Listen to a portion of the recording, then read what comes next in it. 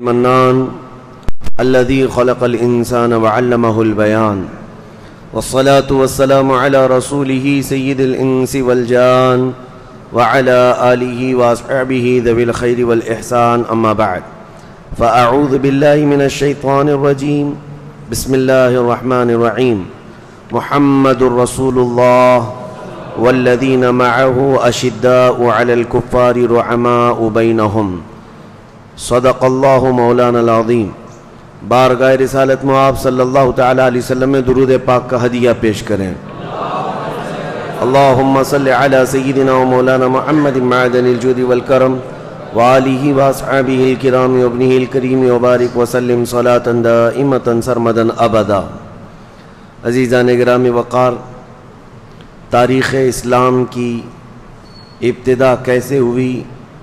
हुकूमत इस्लाम, सल्तनत इस्लाम और इस्लामी सियासत का उरूज इरतका मदीन तयबा की सरहदों से निकल कर पूरी दुनिया में कैसे फैला, ये तारीख़ आपके सामने मैं रख रहा हूँ। हर साल हम करबला की दास्तान सुनते हैं, लेकिन मुसलमानों को चाहिए कि करबला से पहले क्या हुआ था, करबला के बाद क्या हुआ यह हकीकत भी जानें। तारीख़ पूरी समझें कि करबला का सफ़र होने तक हजूर पाक सल्लल्लाहु अलैहि वसल्लम की ज़िंदगी पाक से लेकर हालात किस तरह से थे, कहाँ तक पहुँचे और किन वजूहत की बुनियाद पर और कौन से वह ऐसे इसबाब थे जिनकी बुनियाद पर वो करबला जैसी जंग वाक़ हो गई। ज़ाहिर सी बात है, कोई एक बड़ा सबब होता है, दो कौमों के दरमियान, दो जमातों के दरमियान अगर मुठभीड़ हो जाए तो कोई सबब होता है। इसलिए पहले तारीख़ इस्लाम को आप सबके जहनों में महफूज होना ज़रूरी है। और यूँ भी हर मुसलमान की ये ज़िम्मेदारी है कि वह अपने दीन की तारीख़ नहीं याद रखेगा तो किसकी याद रखेगा? नबी करीम सल्लल्लाहु अलैहि वसल्लम का ज़ाहिरी दौर जब ख़त्म हुआ, कल जैसे कि मैंने आपके सामने अर्ज़ किया था ग्यारहवीं हिजरी थी, हिजरत का ग्यारहवा साल। रबीउल अव्वल शरीफ का महीना था। और रसूल करीम सल्लल्लाहु अलैहि वसल्लम अपने आखिरी हज से फारिग होकर तशरीफ़ लाए थे। हजतुलविदा जिसको कहा जाता है। और तेरह रबीउल अव्वल शरीफ को मेरे आका सल्लल्लाहु अलैहि वसल्लम की वफ़ात हुई। आप इस ज़ाहरी दुनिया से पर्दा फरमा गए। यह उम्मत के लिए बहुत ही कठिन मसला था। वो सहाबा जो हम वक्त रसूल करीम सल्लल्लाहु अलैहि वसल्लम से खोशा ची होते थे, हमेशा हुजूर की सोहबत में रहना पसंद करते। उनके लिए अचानक नबी करीम सल्लल्लाहु अलैहि वसल्लम का मजलिस में से चला जाना छोटा सदमा नहीं था, बहुत बड़ा सदमा था। और ये हालात इस कदर दिगरगू हो सकते थे कि निज़ाम दरहम बरहम हो सकता था। लेकिन चूँकि ये अल्लाह ताला का दीन है और इसकी हिफाजत खुद अल्लाह ने अपने ज़िम्मे में ली है, इस दीन का बेड़ा चलना ही है। हुजूर पाक सल्लल्लाहु अलैहि वसल्लम की वफ़ात के बाद दीन का काम न रुका, न थमा। यह और बात है कि सदमा बहुत बड़ा था सहाबा पर, बहुत बड़ा था। अक्सर सहाबा कराम सहाबा तो सहाबा है जो हजूर अलैहि वसल्लम पर जानो माल निछावर करते थे। जानवरों का हाल भी ये था जो नबी करीम अलैहि वसल्लम की सवारियाँ हैं। कस्वा जो हजूर की ऊँटनी थी जिस पर हजूर सल्लल्लाहु अलैहि ने आखिरी हज अदा फरमाया। हजूर की वफ़ात के बाद इस ऊँटनी ने तो खाना पीना छोड़ दिया था। न खाती थी, न पीती थी, कुछ नहीं। यहाँ तक के हज़रत अबू बकर सिद्दीक रद्दा तु उसके पास जाते ये रसूलुल्लाह की सवारी है। कोई चीज़ खाने की सामने करते तो अपने पैरों से उसको हटा देती और उस ऊँटनी के रोते रोते आँखें अंधी हो गई थी। नबी पाक सल्लल्लाहु अलैहि वसल्लम की वफ़ात का गम जब उनकी सवारियों में था तो सहाबा में कितना होगा। और हजूर का जो खच्चर है नबी करीम सल्लल्लाहु अलैहि वसल्लम के लिए खच्चर की एक सवारी थी। उस खच्चर का हाल ये था कि वो मदीन तय्यबा की गलियों में दीवाना वार, परवाना वार घूमता रहता और यहाँ तक कि जिस कुएँ से मेरे आका सल्लल्लाहु अलैहि वसल्लम को आखिरी गसल दिया गया था, बीर गरस, आज भी वो मदीने में मौजूद है। उस कुएँ में इस खच्चर ने छलांग लगा दी और वहाँ मौत का शिकार हुआ। ये जानवरों की मोहब्बत थी। तो सहाबा कराम पर कैसा सदमा हुआ होगा? हुजूर का उनकी आँखों से ओझल हो जाना।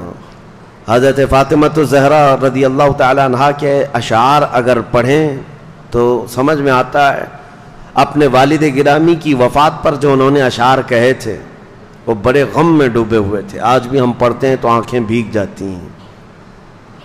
तो इतने बड़े गम और इतने बड़े सदमे के बाद और इतने बड़े मिशन को लेकर के चलना आसान काम नहीं। जब कोई तहरीक चलती है, कोई तंजीम शुरू होती है, या एक कोई सोसाइटी कायम होती है तो जो उसका मेन आदमी होता है, उसी से वो सारा निज़ाम चल रहा होता है। अगर वो मेन आदमी ख़त्म हो गया या निकल गया तो उस तहरीक में, तंजीम में ठंडी आ जाती है। लोग इधर उधर हो जाते हैं, बिखर जाते हैं। लेकिन दीन इस्लाम एक सिर्फ़ तंजीम या एक छोटी सी तहरीक नहीं थी जो सिर्फ़ मदीने की बाउंड्री के अंदर महदूद हो। दीन इस्लाम वो आफाकी दीन था जिसको मदीने से निकलकर पूरी कायनात में फैलना था। और ये दीन पूरी दुनिया के लिए आया, कायनात के लिए आया और वह महदूद वक्त के लिए नहीं, सुबह क़यामत तक के लिए आए। अब दूसरा दीन आना नहीं है, न दूसरा नबी आना है। तो अब इस दीन इस्लाम के इस बड़े काज को, इस बड़े मिशन को लेकर चलना सहाबा की ज़िम्मेदारी थी। इसीलिए मेरे अज़ीज़, उन सहाबा की अजमतों पर करोड़ों सलाम। सहाबा की अजमतों पर हमारी जाने कुर्बान। गम में आकर के उन्होंने कोई ऐसा फैसला नहीं लिया कि हम मदीने छोड़ देंगे, या अब हालात ख़त्म हो गए, निकल जाएँगे। नहीं, हालाँकि जंग उहद में उहद की जंग जो है, वो तीन हिजरी में हुई थी। नबी पाक सल्लल्लाहु अलैहि वसल्लम बनफ से नफी शरीक हैं जंग उहद में।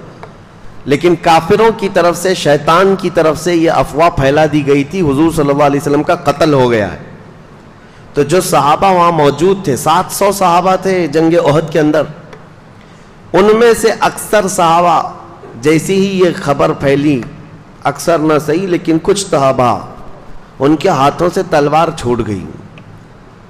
और वो उसी तरह दम बखुद खड़े रह गए। कुफार मार रहे हैं, तलवारें सोते हुए, तीर ताने हुए, लेकिन साहबा के हाथों से तलवारें छूट गई और वो लड़ना ही नहीं चाहते थे। उनको पकड़ पकड़ कर तलवारें दी जा रही थी तो वो क्या कहते, जब रसूलुल्लाह है ही नहीं तो अब फिर लड़ना किसके लिए है?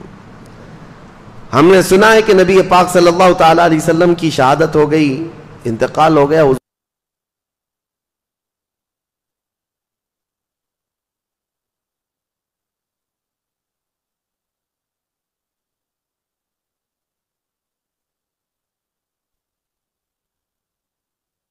वसल्लम का जसद पाक उनकी आँखों के सामने से उठाया गया और कब्र अनवर में दफन किया गया। तो यह आसान काम नहीं था, इतने बड़े गम को बर्दाश्त करना और उसके बाद ये पूरे दीन इस्लाम के मिशन को लेकर चलना।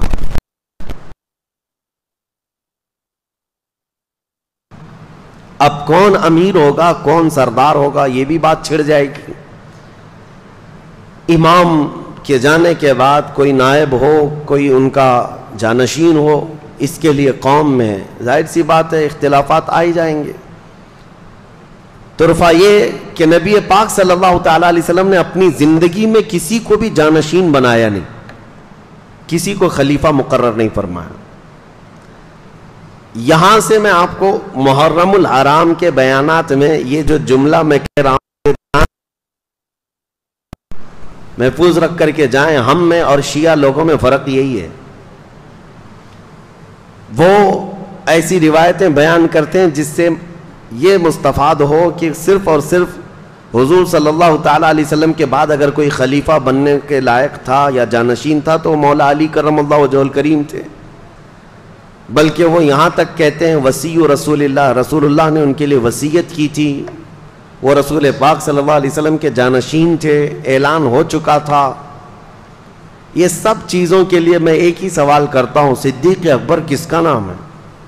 नबी पाक सल्लल्लाहु अलैहि वसल्लम की एक छोटी सी चीज़ को भी जो रिलेटेड हो, वो छोड़ना गवारा नहीं करते। बाल के बराबर भी वो कहते हैं, साहबा, बाल बराबर भी हुजूर की अदाओं से या हुजूर की मंशा से हट करके वो कोई काम करना पसंद नहीं करते थे, चाहे पूरी दुनिया अलग हो जाए। मैं एक सवाल करता हूँ कि अगर वसीयत हो चुकी थी रसूलुल्लाह की, ऐलान हो चुका था तो क्या सैदना अबू बकर सिद्दीक रसूलुल्लाह की वसीयत के खिलाफ जाकर अपनी कुर्सी कायम कर सकते थे? यह अकल में आने वाली बात नहीं। वो अबू बकर सिद्दीक रदी अल्लाह तु जो रसूलुल्लाह सल्लल्लाहु अलैहि वसल्लम की पैरवी में और उनकी सुन्नतों में इस कदर हसास थे कि रोज़े अव्वल से वो ईमान लाए हुए हैं। सबसे पहले इस्लाम लाने वालों में नाम है हर वक्त रसूल पाक सल्लल्लाहु अलैहि वसल्लम के साथ खड़े होने वाले अगर हुजूर ने ऐलान कर दिया होता तो क्या हज़रत अबू बकर सिद्दीक उसकी नाफरमानी करते, उस फरमान के खिलाफ जाते? मुमकिन ही नहीं लगता, मुमकिन ही नहीं लगता। इसलिए मैं आपको ये बता रहा हूँ कि इस रिवायत को महफूज रख लो अपने जहनों में कि हजूर ने अपनी पूरी ज़िंदगी में किसी को अपना जानशीन मुकर्र नहीं फरमाया। किसी को खलीफा बनाया नहीं। ये मुसलम बात है। अगर रसूल करीम सल्लल्लाहु अलैहि वसल्लम बनाते, एक रिवायत इमाम जलालुद्दीन सयूती रमत की तारीख़ुल खलफा से मैं आपके सामने रख रहा हूँ। इमाम जलालुद्दीन सयूती बहुत बड़े मुहदस हैं। उनकी ये रिवायत है। आप फरमाते हैं कि रसूल पाक अलैहि वसल्लम के जानशीनी के और खिलाफत का ऐलान ना करने की वजह क्या? है क्यों नहीं मंतखब फरमाया किसी को? किसी को बना देते, खलीफा बना देते, जानशीन बना देते, लेकिन बनाया क्यों नहीं? इसमें क्या वजह है? इमाम जलालुद्दीन सयूती की ये रिवायत तारीख़ुल खलफा में मौजूद है। फरमाते हैं कि नबी पाक सल्लल्लाहु अलैहि वसल्लम ने खुद फरमाया, अगर मैं तुम पर किसी खलीफा को मुकर्र कर दूँ और तुम में से कोई भी उसकी नाफरमानी कर दे या उसकी इतात से थोड़ा बहुत भी इधर उधर कर दे तो अल्लाह का अजाब आ जाएगा। क्योंकि रसूल पाक सल्लल्लाहु अलैहि वसल्लम का फरमान आलिशान है। तो इमाम जलालुद्दीन सयूती रमतुल्लाह ये रिवायत फरमाते हैं कि हमत अल्लाह बेहतर जाने, दीन इस्लाम का ये इतना बड़ा लहलाता हुआ बागीचा जो चौदह सदियों से आज तक हम तक पहुँचा हुआ है, इसके पत्तों को, इसके फूलों को, इसके फलों को कितनी मर्तबा लोगों ने जुल्म के हाथों से मरोड़ दिया, लेकिन इसकी शाखें आज भी हरी भरी हैं। आज भी हरी भरी हैं। और इसीलिए शायर ने बहुत अच्छे अंदाज में कहा है, आज खुलफा इस्लाम की तारीख शुरू कर रहा हूँ, खिलाफत के इसबाब बता रहा हूँ, खिलाफत होती क्या है? उससे पहले ये शेर बहुत ही मौजू और मुनासिब है, इस्लाम तेरी नब्ज न डूबेगी, हशर तक तेरी रगों में रवा खून है चार यार का। खुलफा इस्लाम की कुर्बानियाँ भी हैं इसमें। अब मामलात कहाँ से शुरू हुए, अब तारीख सुनिए। हजूर पाक सल्लल्लाहु अलैहि वसल्लम की वफ़ात हो गई। पीर का दिन था। पीर का दिन था हजूर की पैदाइश का दिन भी पीर है, हजूर की वफ़ात का दिन भी पीर है। दोशंबा। पीर के दिन जैसे इंतकाल हुआ नबी करीम सल्लल्लाहु अलैहि वसल्लम का।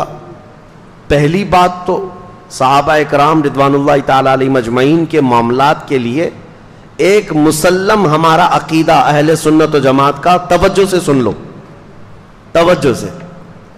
सहाबा कराम फरिश्ते नहीं हैं, इंसान हैं। हुजूर सल्लल्लाहु अलैहि वसल्लम के जितने असहाब हैं, वो सब इंसान थे। और सहाबा कराम रिदवान मजमैन के दरमियान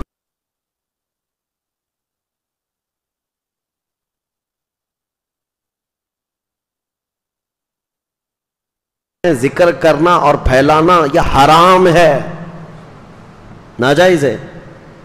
बाज लोगों को ये सब चीज़ों का शौक है। इनके उनके बीच में क्या हुआ था? उनके इनके बीच में क्या हुआ था?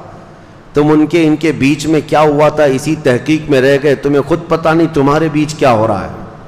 तुम्हारे ईमान का अंदाज़ा करो। वो ऐसे बुज़ुर्ग हैं, ऐसे कि जिनके बारे में मेरे आका सल्लल्लाहु अलैहि वसल्लम ने फरमाया है कि मेरा एक सहाबी जौ के दाने के बराबर खैरात कर दे। और पूरी उम्मत ओहद पहाड़ के बराबर सोना खैरात करे, तब भी मेरे सहाबी की खैरात के बराबर नहीं हो सकता। सहाबी के दर्जे को पहुँच ही नहीं सकोगे। नबी पाक सल्लल्लाहु अलैहि वसल्लम ने फरमाया, अल्लाह अल्लाह फ़ी असहाबी। लोगों को डराया, खबरदार खबरदार मेरे सहाबा के बारे में, ला तसुबु असहाबी। मेरे सहाबा को गाली मत देना। आज एक जमात है, बाजाबता तौर पर साहबा को निशानी बना चुकी है। निशाना बना चुकी है। अपने गाली गलोच का, और ऐसा लगता है चौदह सदियों के बाद ये लोग बड़े तुर्रम खां हैं जो फैसला करने बैठे हैं। वो हक पर थे कि ये गलत थे। जिन्होंने रसूलुल्लाह सल्लल्लाहु अलैहि वसल्लम की सोहबत का शरफ पाया है, तुम्हें अंदाज़ा नहीं वो कौन से मकाम पर पहुँच गए। सैदना अब्दुल कादिर जीलानी गौसुल आज़म बगदादी रज़ी अल्लाह तु के मुतालिक ये बात मंसूब है, आपने फरमाया। उम्मत में हम अलिया की कैटेगरी जानते हैं ना, कोई नजबा हैं अकताब हैं, अबदाल हैं, औताद हैं, और फिर गौस हैं, कुतुब हैं, ये सारी चीज़ें। गौस का दर्जा अलिया में बहुत ऊँचा होता है, लेकिन वो गौस खुद फरमाते हैं सहाबी के दर्जे के मुतालिक। फरमाते हैं, रसूलुल्लाह के सहाबा जो जिहाद में जाया करते थे, घोड़ों पर बैठकर, उन घोड़ों के टाप के नीचे से जो धूल उड़ती थी, गौस का मकाम वहाँ तक भी नहीं पहुँच सकता। तुम कहाँ कंपेयर करने चल पड़े? आज के दो टांग के जानवर, नबी पाक सल्लल्लाहु अलैहि वसल्लम के सहाबा से अपने आप को कंपेयर करने लगे। इल्म तुम्हारे पास ज़्यादा? इसलिए मैं तंबी के साथ कहता हूँ सुन्नियो, ये वक्त ऐसा आ चुका है, जगह जगह सोशल मीडिया पर और कुछ नौजवानों के दरमियान ये बहसें छिड़ने लग गई हैं साहबा के इख्तलाफात के बारे में। मौला अली करम वजहल करीम और हज़रत अमीर माविया के दरमियान क्या जंगें हुई थी, कौन से इख्तलाफात हुए थे? हज़रत खालिद बिन वलीद रद्ला हज़रत उमर फ़ारूक रद्ला इनके दरमियान क्या मामला हो गए थे? हज़रत उस्मान इबन अफ़ान रदी अल्लाह तन और दीगर सहाबा कराम के दरमियान ये सब बातें लोगों को बड़ी ऐसी लगती हैं, दिलचस्प हैं। इसमें आज दाखिल होते होते नौजवान ईमान से हाथ धो बैठ रहे हैं। मैं तो ये कहता हूँ, वो बहुत बड़ी चीज़ें हैं, तुम्हें तो अपने माँ बाप के इख्तिलाफ में भी नहीं जाना चाहिए। तुम्हें तो इतना भी हक नहीं है कि तुम्हारी माँ और तुम्हारे बाप आपस में किसी बात पर इख्तिलाफ कर ले तो बेटा वहाँ बीच में दाखिल होकर के मजामत ना करे और ना ही उनके इन किस्सों को मज़े ले ले करके सुनाता रहे। तुम्हें इतना भी हक नहीं होना चाहिए, क्योंकि वो बड़े हैं बड़े हैं। अब रही बात सहाबा रसूलुल्लाह के। असहाबत कुल्लुहुम अदुल। सारे सहाबा रसूलुल्लाह के आदिल हैं। वकुल्लम वअदल्लाहुल हुस्ना। कुरान की सत्ताईसवें पारे की सूर्य हदीद की आयत है। अल्लाह कुरान में फरमाता है, रसूल के सारे सहाबा से अल्लाह ने वादा कर लिया है कि उनको जन्नत मिलेगी। उनके लिए वादा है। और उन्हीं के मुतालिक कुरान में आयत नाजिल हुई रदी अल्लाह उनसे राज़ी हुआ और वो अल्लाह से राज़ी हुए। तीन मरतबा ये आयत आई कुरान पाक में। अल्लाह तबारक उनसे राज़ी हुआ तो मेरे अजीजों, जिनसे खुद अल्लाह राज़ी है और कलाम पाक में सनत के तौर पर आयत आ गई, उन सहाबा के बारे में तुम बात कर सकते हो। इसलिए सबसे पहले आज मेरी गुफ्तगु शुरू होने से पहले ये अहले सुन्नत जमात का मुसलम अकीदा समझ करके चलो। सहाबा के आपस के मामलात और इख्तलाफात हमारा मौजू सुखन कभी नहीं हो सकते। हमारी तकरीर का अनुमान कभी नहीं हो सकते। हाँ तारीख हम बताते हैं। और तारीख बताने के बाद आपको हमेशा ये बात महफूज रखनी चाहिए कि वो सब रसूलुल्लाह के सोहबत याफ्ता हैं, हजूर के सच्चे ग़ुलामों में से हैं। अगर उनके दरमियान कोई मामला हुए भी थे तो उनका मौला, उनका आका रसूल करीम सल्लल्लाहु अलैहि वसल्लम उनके साथ है और रब्बुल आलमीन उनके साथ फैसला फरमाने वाला है। न तुम सज़ा दे सकते हो, न जजा दे सकते हो। अब सुनिए, बाहमी इख्तलाफात जो होते हैं ना, इख्तिलाफ की दो किस्में हैं। मैं अब बात आ गई है तो आज ये बात भी अर्ज़ कर दूँ, क्योंकि इख्तलाफात कसरत से हैं में भी हैं। बड़े बड़े तबके में इख्तलाफात, इख्तलाफ दो किस्म के एक इख्तलाफ महमूद है और एक इख्तलाफ मजमूम है। इख्तलाफ महमूद जो है अच्छा है और इख्तलाफ मजमूम बहुत बुरा है। महमूद अच्छे इख्तलाफ को कहते हैं। तो आप सोचेंगे, क्या भला इख्तलाफ भी कोई अच्छा होता है? हाँ होता है। क्योंकि ये भी मौजूद है कि हजूर सल्लल्लाहु अलैहि वसल्लम की उम्मत के उलमा का इख्तलाफ उम्मत के लिए रहमत है। इस पर बाबा किताब है, मौजूद है। लेकिन वो इख्तलाफ महमूद उसके पूरे शरात हैं। कैसे इख्तलाफ होगा? मिसाल के तौर पर, हक पहचानने के लिए, हक जानने के लिए दोनों भाग रहे हैं, दोनों दौड़ रहे हैं। उसकी एक मिसाल मैं आपको दे दूँ, रसूल पाक सल्लल्लाहु अलैहि वसल्लम ने सहाबा की एक जमात को, बनु कुरैज़ा एक मोहल्ला था, एक कबीला था मदीने से बाहर, कहा कि तुम जल्दी से निकलो, असर के, असर तक वहाँ पहुँच जाना। और इतनी जल्दी जाओ कि असर की नमाज़ वहीं जाके पढ़ना। मदीने से निकल जाओ। हजूर ने भेजा। अब ये सहाबा की एक जमातें जा रही है। चल रहे थे। बीच रास्ते में असर का वक्त इतना हो गया कि सूरज डूबने के करीब आया। लेकिन ये अभी अपनी मंजिल नहीं पहुँचे। तो अब सहाबा की जमात में इख्तलाफ। आधे सहाबा ये कहने लगे, हम नमाज़ यहाँ पढ़ लेंगे। सूरज डूब जाएगा, असर कज़ा हो जाएगी। हुजूर के फरमाने का मकसद ये नहीं है कि असर छोड़ करके जाओ। हुजूर ने फरमाया था, जल्दी जाओ। बाज दूसरे साहबा ने कहा, नहीं। हुजूर ने फरमाया, बनु कुरैजा में जाके असर पढ़ो, हम वहीं जाकर के पढ़ेंगे, चाहे सूरज डूबे, चाहे रहे। कहा, रसूलुल्लाह ने फरमाया है तो हम वही करेंगे। इख्तिलाफ हुआ ना। दोनों के दरमियान इख्तिलाफ। लेकिन इस इख्तिलाफ की वजह से इन दोनों ने आपस में एक दूसरे को गाली गलोच तो नहीं किया, एक दूसरे के ख़ानदान को नहीं बोला। दोनों की मर्ज़ी, दोनों का मकसद हक को पहचानना। सही मंजिल तक पहुँचना दोनों की ख्वाहिश थी। नेक ख्वाहिशात हैं। इसमें इख्तिलाफ हुआ बहरहाल, आधे लोगों ने नमाज़ पढ़ ली। और आधे जो नमाज़ नहीं पढ़े थे वो बनु कुरैजा तक पहुँचे, सूरज डूब गया। असर कज़ा हो गई। अब ये मसला कौन सही, कौन गलत, आप बता सकते हो?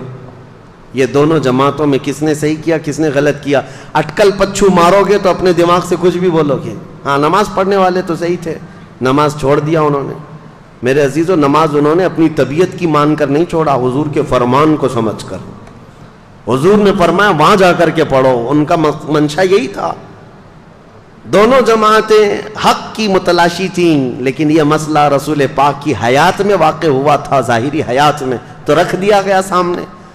अल्लाह के हबीब सल्लल्लाहु अलैहि वसल्लम से अर्ज़ किया गया, या रसूल अल्लाह सल्लल्लाहु अलैहि वसल्लम, दोनों जमातों में ऐसा इख्तिलाफ हुआ, आधे लोगों ने नमाज़ पढ़ ली, आधे ने नहीं पढ़ी, क्या है इसका मसला?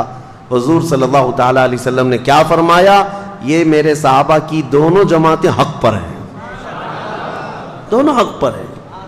यहाँ से पता चला कि हक की तलाश में निकलने वाला इख्तिलाफ वो महमूद होता है। दोनों अल्लाह रब्बुल इज़्ज़त की रजा चाहते हैं, बाकी और कोई मकसद नहीं। सहाबा में भी जो बातें हुई हैं, वो हक को पहुँचने के लिए, अल्लाह की रजा हासिल करने के लिए। वो ऐसा नहीं है कि अपनी मर्ज़ी और अपने पेट से कोई चीज़ निकली और उस पर लड़ पड़े हो।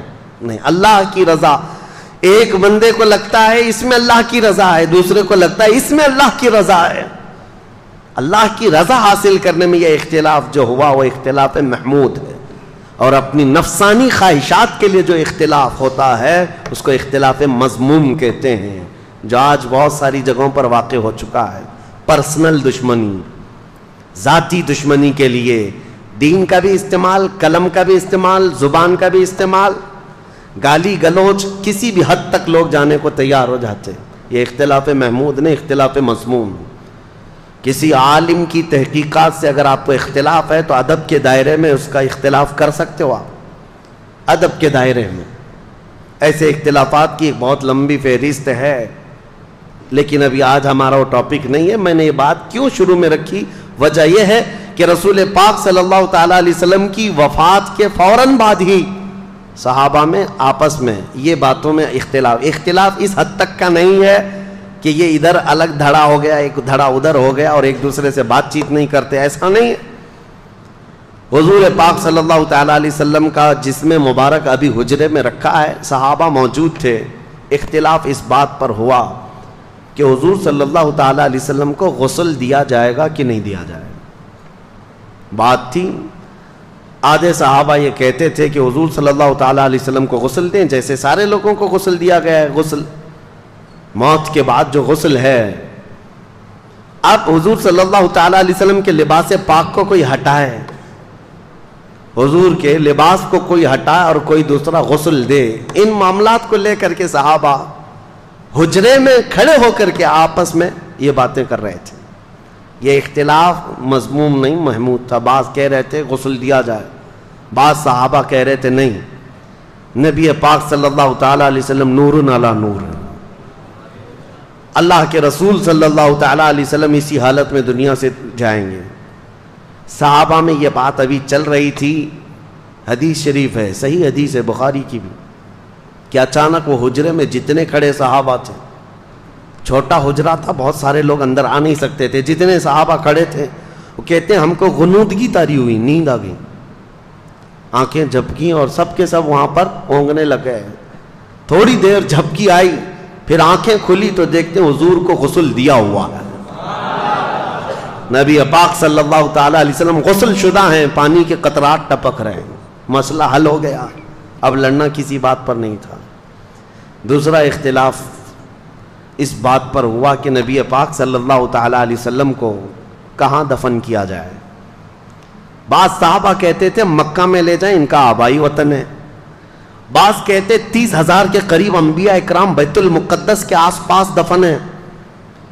हजूर सल्लल्लाहु अलैहि वसल्लम के भाई हैं सारे अम्बिया वहाँ ले जा करके दफन करें। और बाद साहबा कहते, नहीं, हम मदीने से बाहर ना ले जाएँ। ये इख्तिलाफ था। तीन जमातें थी।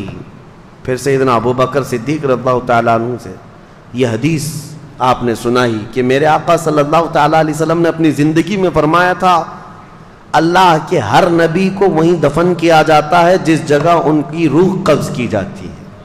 मसला हल हो गया हाँ। फरमाया कि हुजूर सल्लल्लाहु अलैहि वसल्लम की रूह पाक यहाँ कब्ज की गई, हज़रत आयशा के मकान में तो अभी यहीं दफन होंगे। इस बात का भी खुलासा हुआ। अब उनके बाद हुजूर अकरम सल्लल्लाहु अलैहि वसल्लम की तदफीन के बाद, नमाज़ जनाजा के बारे में बहुत सारे लोग पूछते हैं, हुजूर की जनाजे की नमाज़ कैसे हुई? वो एक साथ जम गफ़ीर के नमाज़ अदा नहीं की गई थी, बल्कि हजूर सल्लल्लाहु अलैहि वसल्लम के जिसम पाक को हुजरे में ही रखा गया था। और सहाबा की एक एक जमात आती थी, नमाज़ पढ़ती थी और चले जाते थे। बल्कि ये नमाज़ जनाजा, इस नमाज़ जनाजा के बारे में भी साहबा में बातें हुई कि कौन पढ़ेगा, कौन पढ़ाएगा, किस तरह से। अब उसमें फिर हुजूर की ही एक रिवायत, हदीस। साहबा ने सुनाई कि अल्लाह के नबी ने फरमाया कि तुम सब के सब मेरे हुजरे से बाहर चले जाना। सबसे पहले हुजूर सल्लल्लाहु अलैहि वसल्लम के जिसम अकदस के पास नमाज़ जनाजा के लिए कोई और नहीं जबरील अमीन आएँगे। सैदुल मलाइका हाजिर हुए फरिश्तों की जमात के साथ, फिर उनके बाद हज़रत मिकाइल सलाम, फिर हज़रत इसराफ़ील सलाम, फिर हज़रत इसराइल सलाम, इन्होंने नमाज़ें अदा की फरिश्तों की जमातों के साथ। और उनके जाने के बाद फिर हज़रत अबू बकर सिद्दीक अंदर आए सहाबा की जमात के साथ। फिर एक के बाद दीगर सहाबा दाखिल हुए और सबों ने अपनी अपनी नमाजें अदा की। अब यहाँ एक मसला बताऊँ। नमाज़ जनाजा जो होती है, वो मैत की बख्शिश और उसकी मगफरत की दुआ के लिए होती है। अब रसूल पाक सल्लल्लाहु अलैहि वसल्लम की नमाज़ जनाजा पढ़ने वाले हुजूर के लिए मगफरत की दुआ करने गए थे, हुजूर की बख्शिश का सवाल करने गए थे। अरे वो रसूल जो हाथ ना उठाए तो क़यामत में किसी का हिसाब ना हो। नमाज़ जनाजा दो तरीके की है। इसीलिए फरमाया गया, नमाज़ जनाजा में हाजिर हो जाओ। तुम्हारी कसरत जो होगी, तुम्हारी जमात होगी, तुम उसकी मगफिरत की दुआ करोगे, अल्लाह मैयत को माफ़ कर देगा। एक एक रिवायत। और फरमाया, अगर कोई बहुत नेक इंसान का इंतकाल हुआ, तब भी जनाजा पढ़ो। इसलिए कि जितने शरीक होंगे, उनके गुना माफ़ हो जाएँगे। तो वहाँ ये मसला भी हल है। रसूल करीम सल्लल्लाहु अलैहि वसल्लम के नमाज़ जनाजा में जो गए थे, वो सब के सब मुस्तफीज होकर के आए। हुजूर से अनवार व बरकत लेकर के आए। दफन की बात। बुद्ध के दिन हुजूर सल्लल्लाहु अलैहि वसल्लम की तदफीन हुई। दो दिन के बाद पीर के बाद से लेकर के बुध के दिन तक। नबी पाक सल्लल्लाहु अलैहि वसल्लम के कसीर सहाबा थे, नमाज़ पढ़ने में ही ये वक्त निकलता रहा।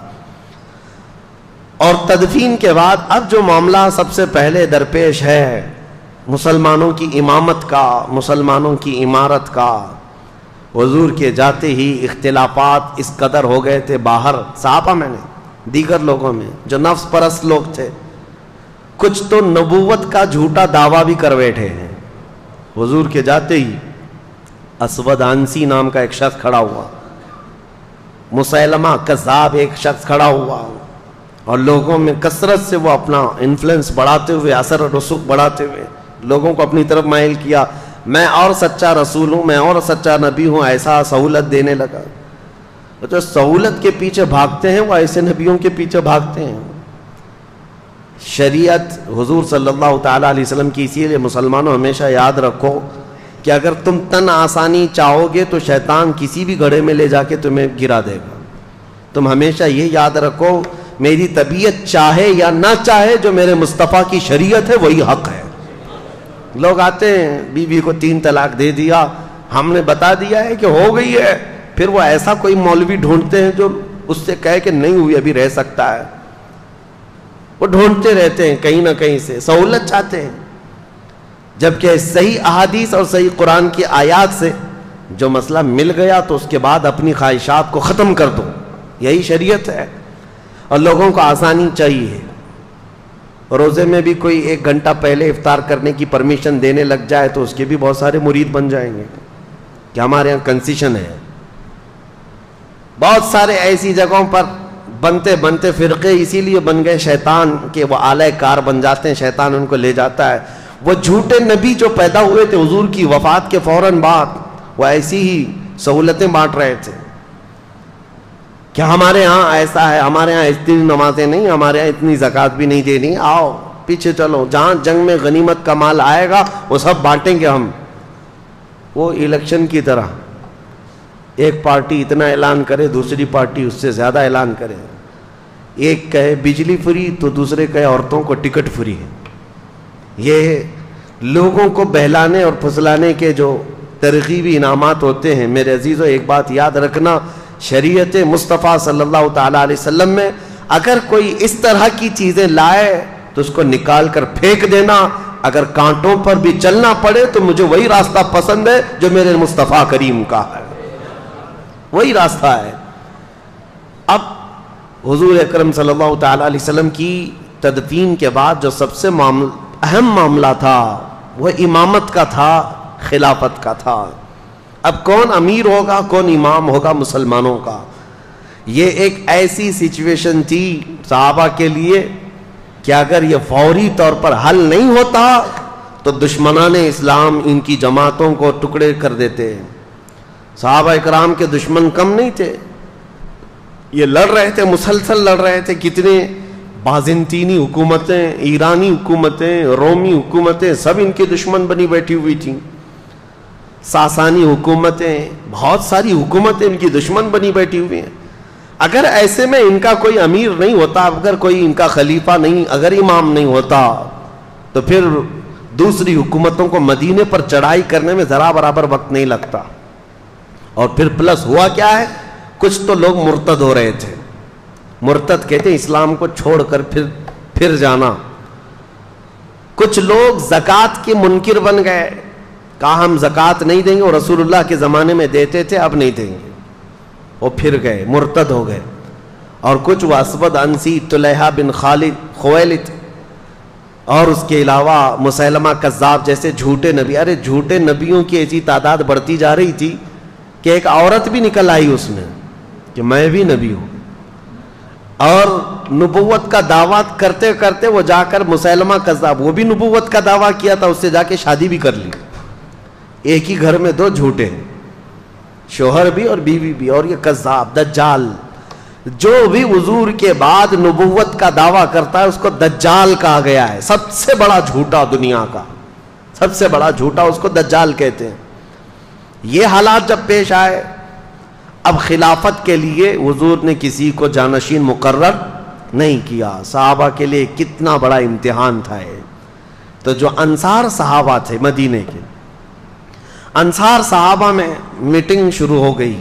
मदीने वाले थे सहाबा, और यकीनन वो बहुत ही इसार और क़ुरबानी वाले सहाबा हैं। हजूर सल्लल्लाहु अलैहि वसल्लम पर उन्होंने अपनी जानें निछावर की अपनी औलाद वार दी कुछ नहीं रखा था।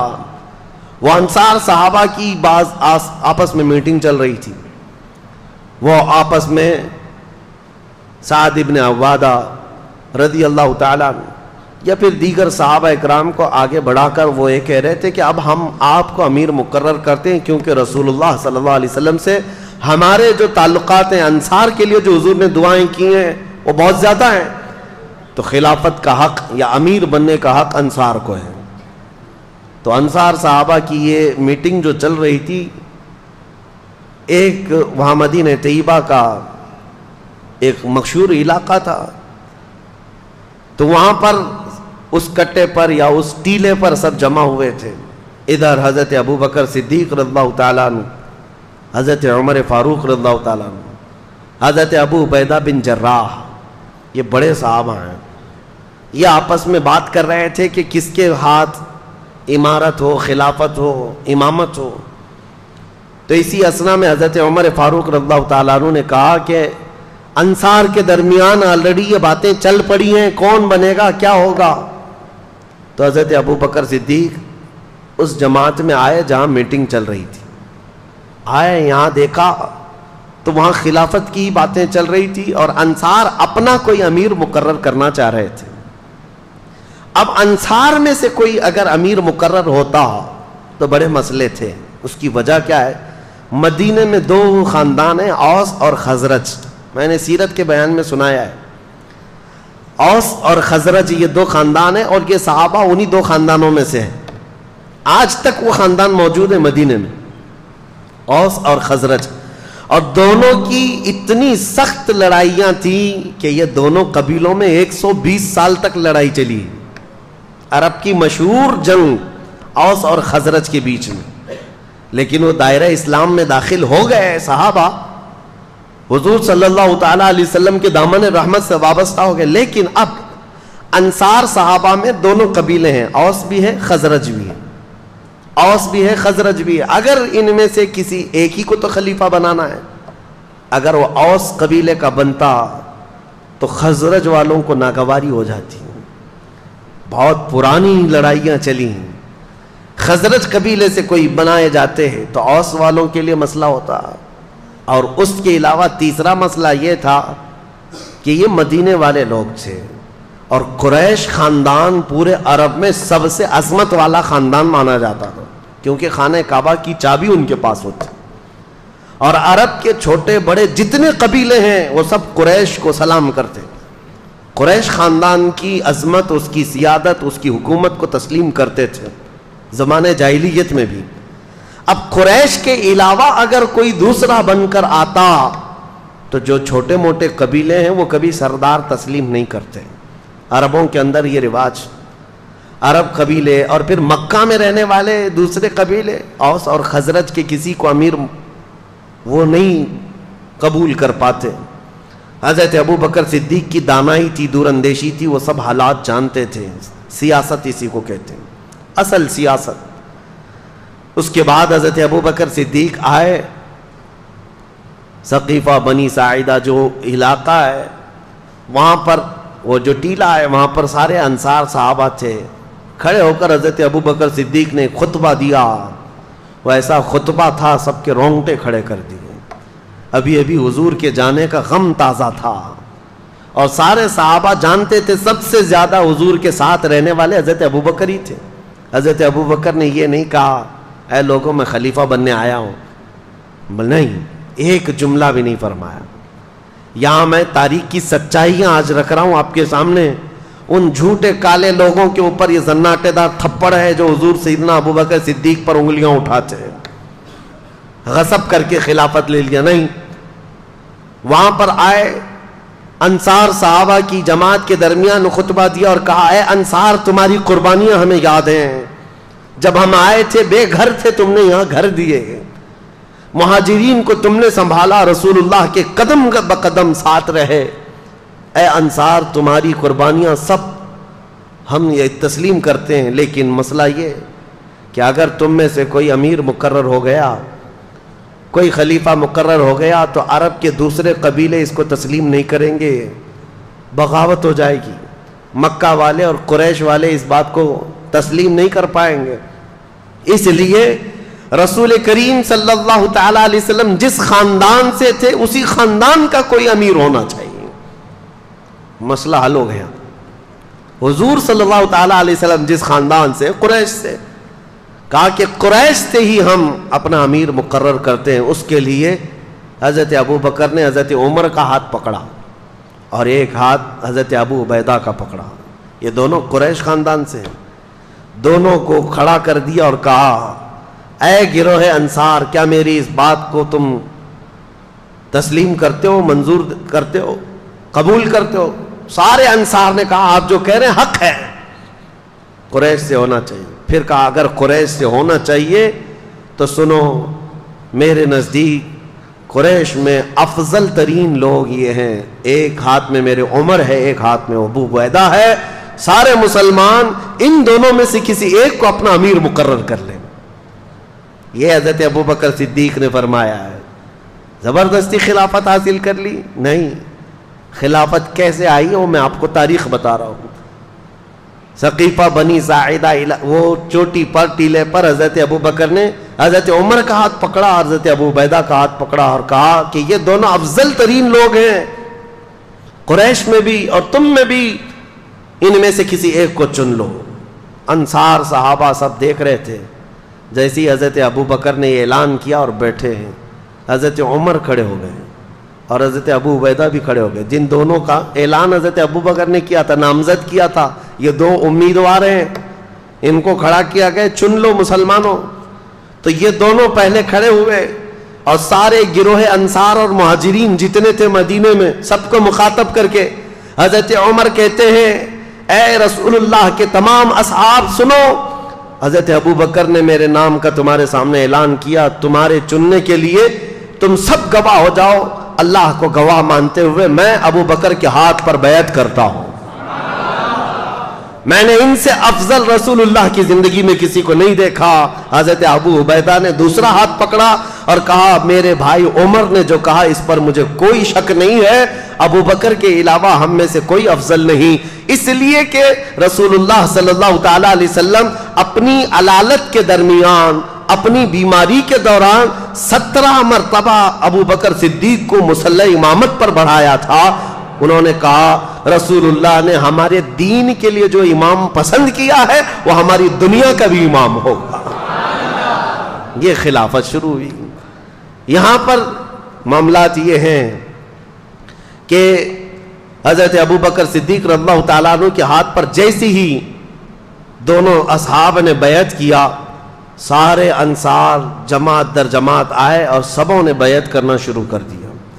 और सबों ने ऐलान किया कि अल्लाह ताला का इंतखाब है। इनमें से किसी को भी इख्तिलाफ नहीं हुआ हज़रत अबू बकर के नाम पर। किसी को नहीं।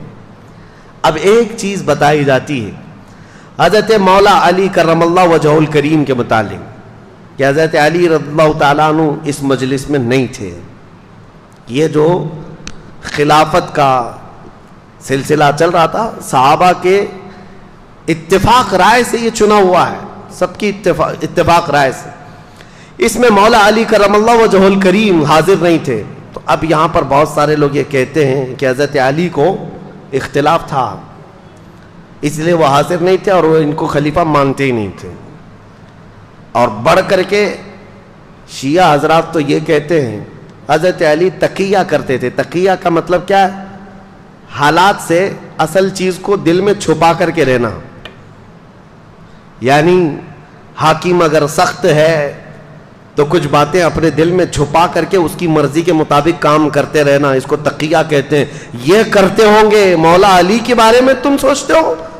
हैदर कर्रार जिसकी शमशीर का कोई जवाब ना हो, वो दिल में छुपा करके कोई बात अमल करेगा? हरगिज ने हम इस बात को तस्लीम नहीं करते। हाँ अब हम ये बता सकते हैं कि हज़रत अली करम अल्लाह वजहुल करीम खुद रिवायत में आपको बताऊँ। हज़रत अली रदी अल्लाह तु की रिवायत क्या है? खिलाफत के मामला में। ये मामला हुए तकरीबन छः महीने गुजर गए। हज़रत अली रदी अल्लाह तु खुद हाजिर हुए। हज़रत अबू बकर सिद्दीक रदी अल्लाह तु के हाथ में हाथ रख करके आपने बैत किया। अब सुनिए, हज़रत अली क्यों नहीं बैत किए? छः महीने क्यों गुजरे हर एक के कुछ ना कुछ असबाब होते हैं, वजूहत होते हैं। ये मसला मैं और आप क्यों पूछें? कि हज़रत अली क्यों नहीं आए थे? मेरे और आपके पूछने से बेहतर तो यह है कि हज़रत अबू बकर सिद्दीक खुद ही पूछ चुके उनसे कि अली, इतने दिन क्यों नहीं आए मसला अब साफ़ हो जाएगा। जिनका मामला है वो खुद ही सवाल कर चुके हैं। सुनो, हज़रत अली करम अल्लाह वजहुल करीम, आपसे किसी ने कहा क्या आप अबू बकर से अपने आप को अफजल कहते हैं? क्या आप उस खिलाफत के अपने आप को हकदार समझते हैं? जिसकी वजह से आपने बैत नहीं की? सईदना मौला अली करम अल्लाह वजहुल करीम ने फरमाया, ऐसी कोई बात नहीं। मैंने ये अहद कर लिया था दिल में कि जब तक जो वही नाजिल हो रही थी कुरान पाक। हज़रत अबू बकर सिद्दीक की खिलाफत का एक अहम काम मैं आपको बताऊँ अहम काम। आप जाम कुरान है। कुरान पहले पत्तों पर लिखा हुआ था, चमड़ों पर लिखा हुआ था, पत्थरों पर लिखा हुआ था, क्योंकि तेईस साल तक कुरान उतरता रहा।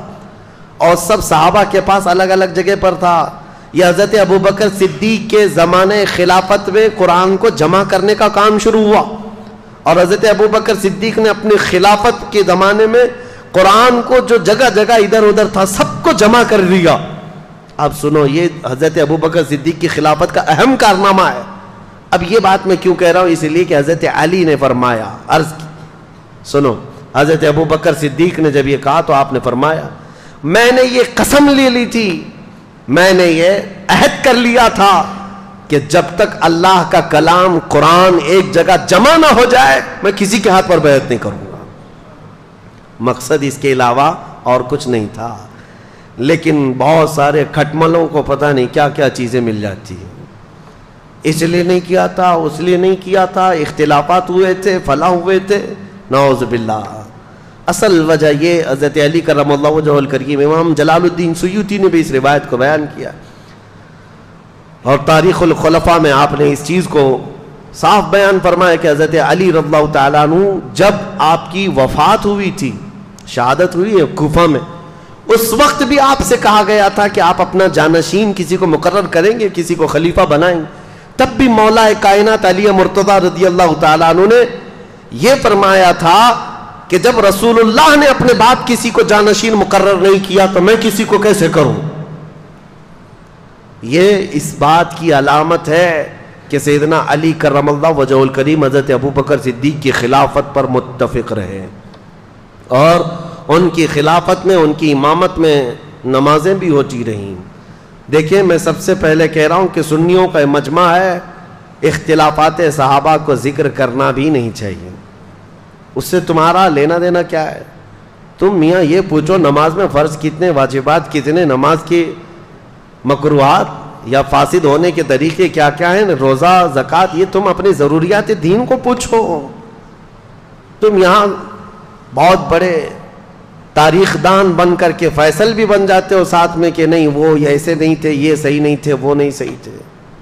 अटकल पच्चू मार रहे चौदह सौ साल के बाद पैदा होकर के। सोशल मीडिया का दौर है, हमने बहुत सारे ऐसे बरसाती महक्कों को देखा है। हाँ महक्क तहकीक करने वाले रिसर्च स्कॉलर तो ये बरसाती मेंढकों की तरह है। ये नए नए आए और इन्होंने रेफरेंस और लोगों के सामने नंबरिंग के साथ कुछ बातें रख रख करके लोगों को यूँ वर्गलाया है कि असल ये बात है, तुमको लोग ये पट्टी पढ़ा रहे हैं।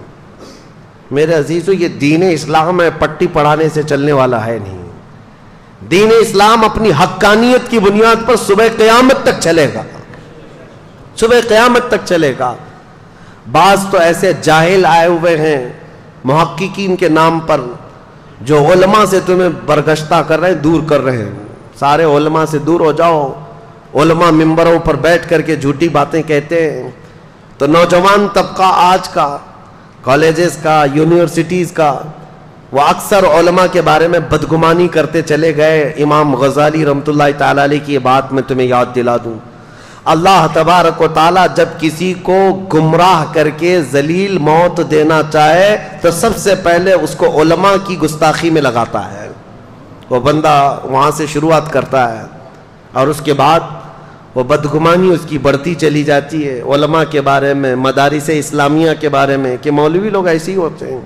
तुम्हें तो पता है कि दीन कहाँ से कहाँ तक आया तुमको अलिब्बा जो पढ़ना आता है आज, या अगर ओलमा ना होते इनके वसीले के बगैर, तुम कहाँ से दीन सीखते मेरे अजीज़ों, इंटरनेट पर सारा कुरान है, पढ़ने के तरीके सब कुछ मौजूद है, लेकिन कोई तो पढ़ा रहा होगा ना इंटरनेट पर भी? बेवास्ते खुदा कुछ अता करे। ऐसा नहीं है। इसलिए ये तमाम चीमी गोइयों से अपने आप को बाज रखो। और दीन जो है, डॉक्टरों से, इंजीनियरों से, वकीलों से अब सीखने लग गए लोग को छोड़ करके। इसी वजह से गुमराही के दरवाजे खुलते चले गए। और आम नौजवान को देखो तो ये फ़र्क करने बैठा है, फ़र्क करने बैठा है। कोई आकर के सवाल करता है, सरकार गरीब नवाज़ अफजल थे कि गौसे पाक अफजल थे? तुझे क्या फ़र्क पड़ता है? उनकी अफजलियत के मुतालिक उनके मकामात और मरातब के मुतालिक वो सिर्फ़ इस बात के लिए सवाल कर रहा है कि दोनों में से किसी एक का दर्जा घटा करके सोचे।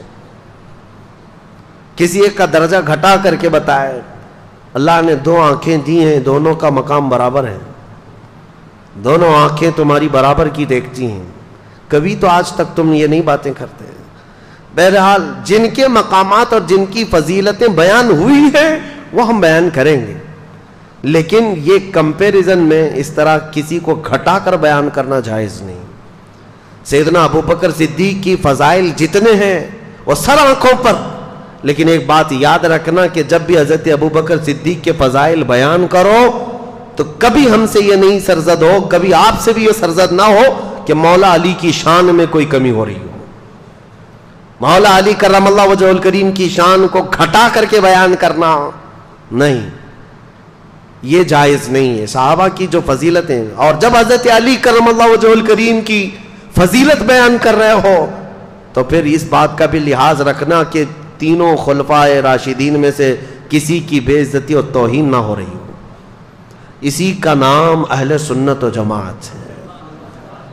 जो ये तमाम बीच के रास्ते को लेकर के चलते अहले सुन्नत का है बेड़ा पार, असहाब हुजूर, नज्म है और नाव है इतरत रसूलुल्लाह की। हम सहाबा की भी अफजलियत के कायल हैं और अहले बैत के अदब के भी हम कायल हैं। हम दोनों में से किसी को भी ट्रोल नहीं करते, किसी की मजम्मत नहीं करती या किसी की तनकीस या अदना सी गुस्ताखी नहीं करते। हैं एक जमात है वहाबियों की जो अहले बैत की गुस्ताख हो जाती है। वो उनके अंदर, आज ही मैं पढ़ रहा था, एक साहब ने तारीख लिखी और जगह जगह उन्होंने यजीद को रदी अल्लाह लिखा है। सिर्फ़ इस दुश्मनी में अहले बैत की और एक जमात ऐसी है जो सारे सहाबा को गालियाँ देती है, अहले बैत की मोहब्बत में। दोनों सही नहीं है। दोनों सही नहीं है। सही मज़हब और मसलक वही है जो दरमियानी अहले सुन्नत जमात का।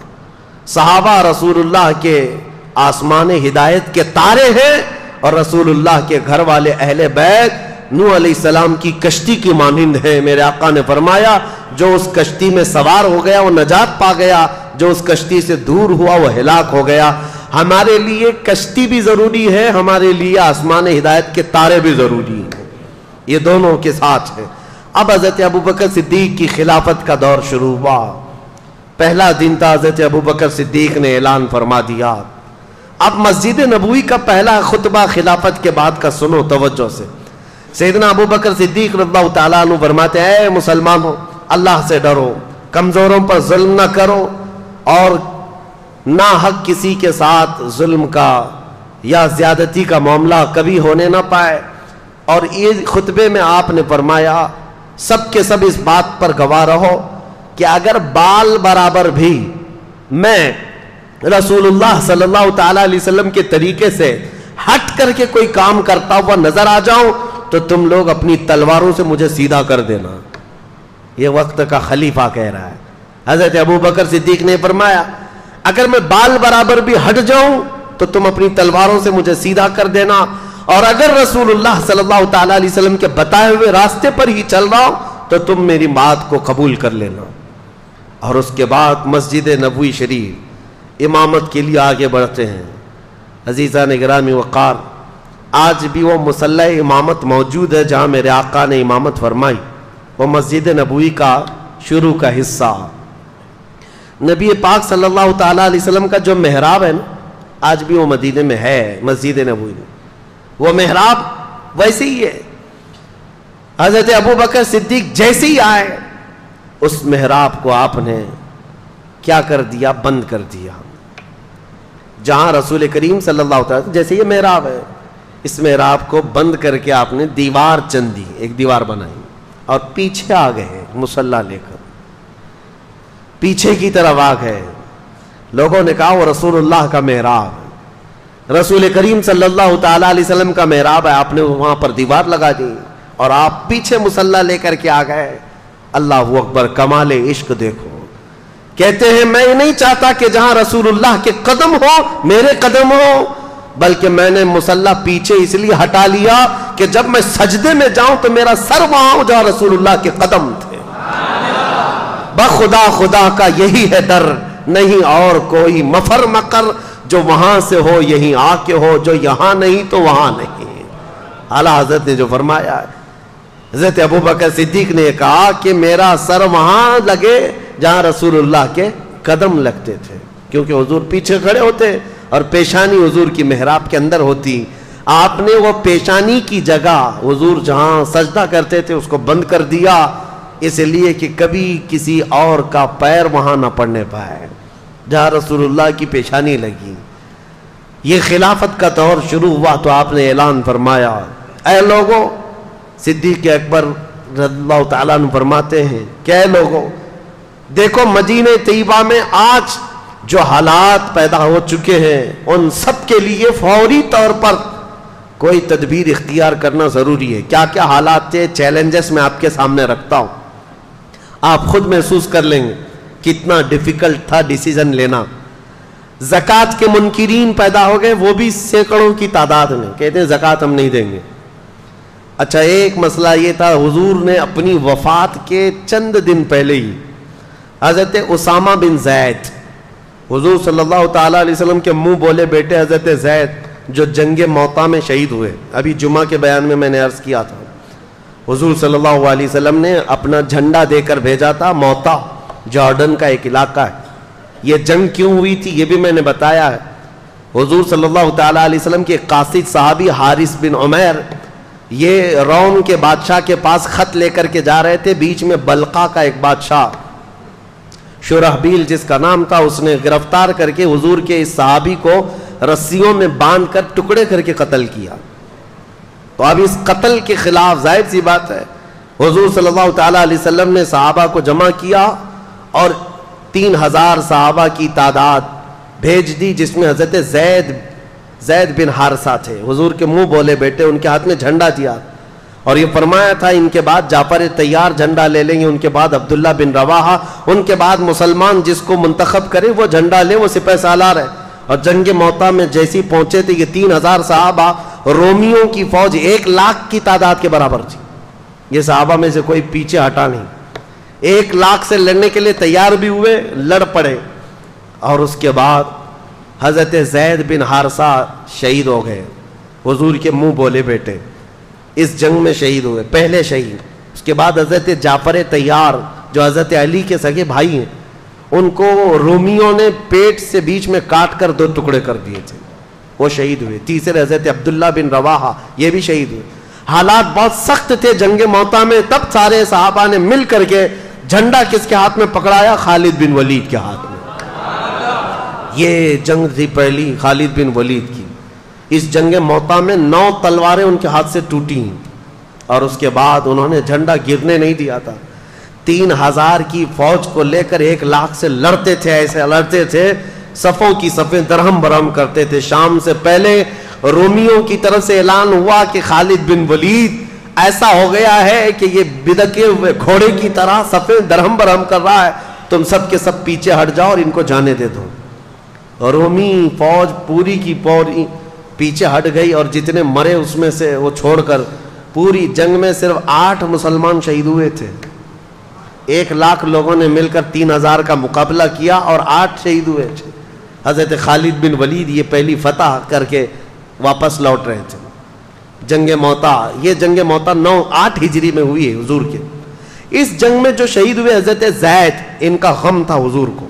उनके बेटे उसामा 19 साल के जवान थे। हुजूर अलैहि वसल्लम ने हज़रत उसामा को सिपह सालार बनाया और कहा, रोमियों को, फिर से उधेड़ने के लिए, उनको उखेड़ने के लिए एक फौज भेजी, जिसमें दस हज़ार सहाबा जमा थे। हज़रत उसामा बिन जैद को मदीने से रवाना कर दिया। उसामा बिन जैद मदीने से निकले ही थे कि हुजूर की वफात हो गई। हुजूर की वफात होती, उसामा बिन जैद और ये पूरी फौज ज़ाहिर सी बात है, मदीने वापस आ गई। अब मसला ये था कि हजूर की वफात के बाद खिलाफत भी कायम हो गई, हज़रत अबू बकर खलीफा बन गए। अब क्या करना है? अब मसले ऐसे थे कि एक तरफ़ मुसलमा कज़ाब झूठा नबी बनने का ऐलान कर चुका है। असवद अंसी एक और शख्स है जो नबूवत का दावा किया।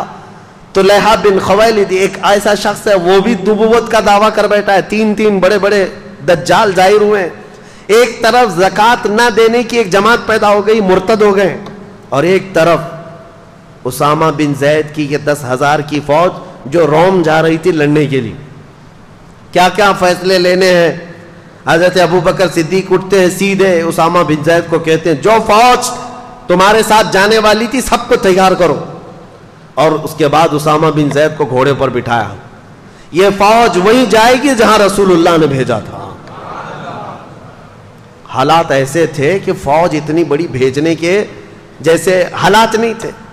यहाँ तक के लोग सब आकर के कहने लगे, खलीफा इस्लाम, अभी हालात ऐसे नहीं है कि आज दस हज़ार की फौज मदीने से भेज देंगे, हुजूर की वफात हुई है, अचानक मदीने पर कुछ हो गया तो क्या करेंगे? इतनी बड़ी फौज जा रही है।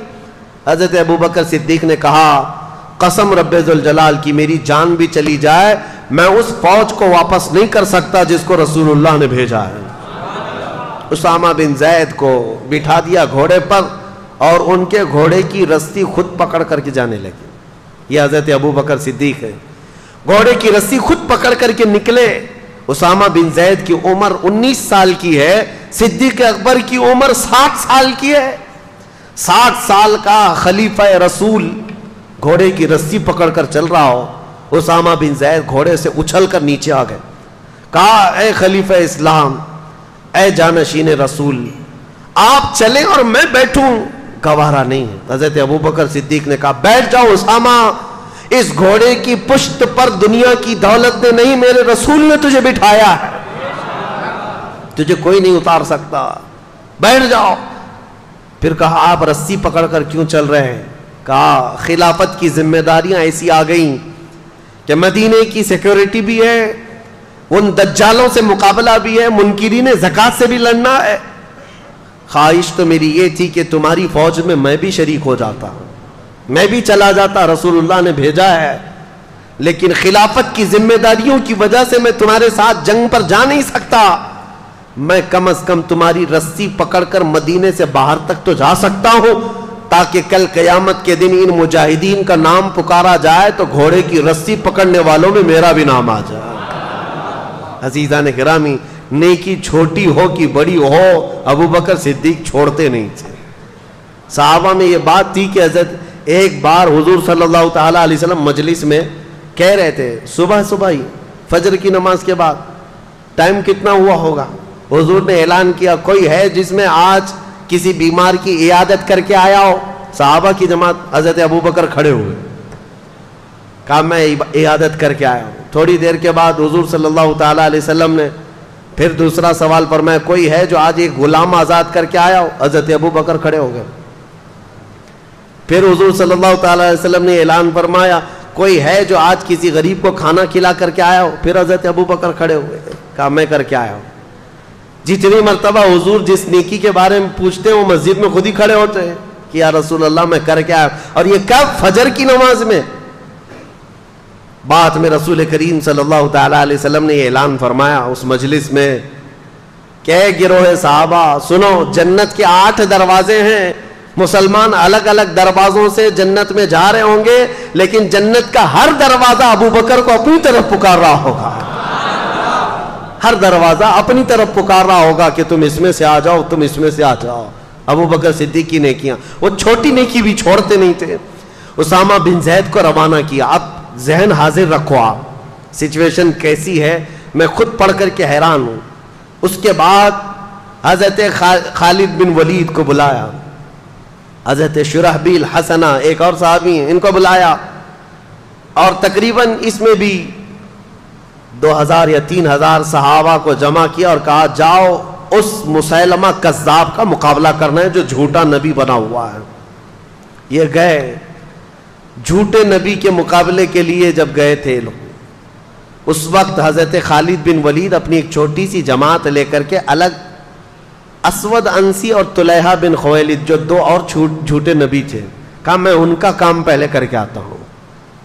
हज़रत खालिद बिन वलीद गए। इनके मुकाबले में कौन खड़ा होता?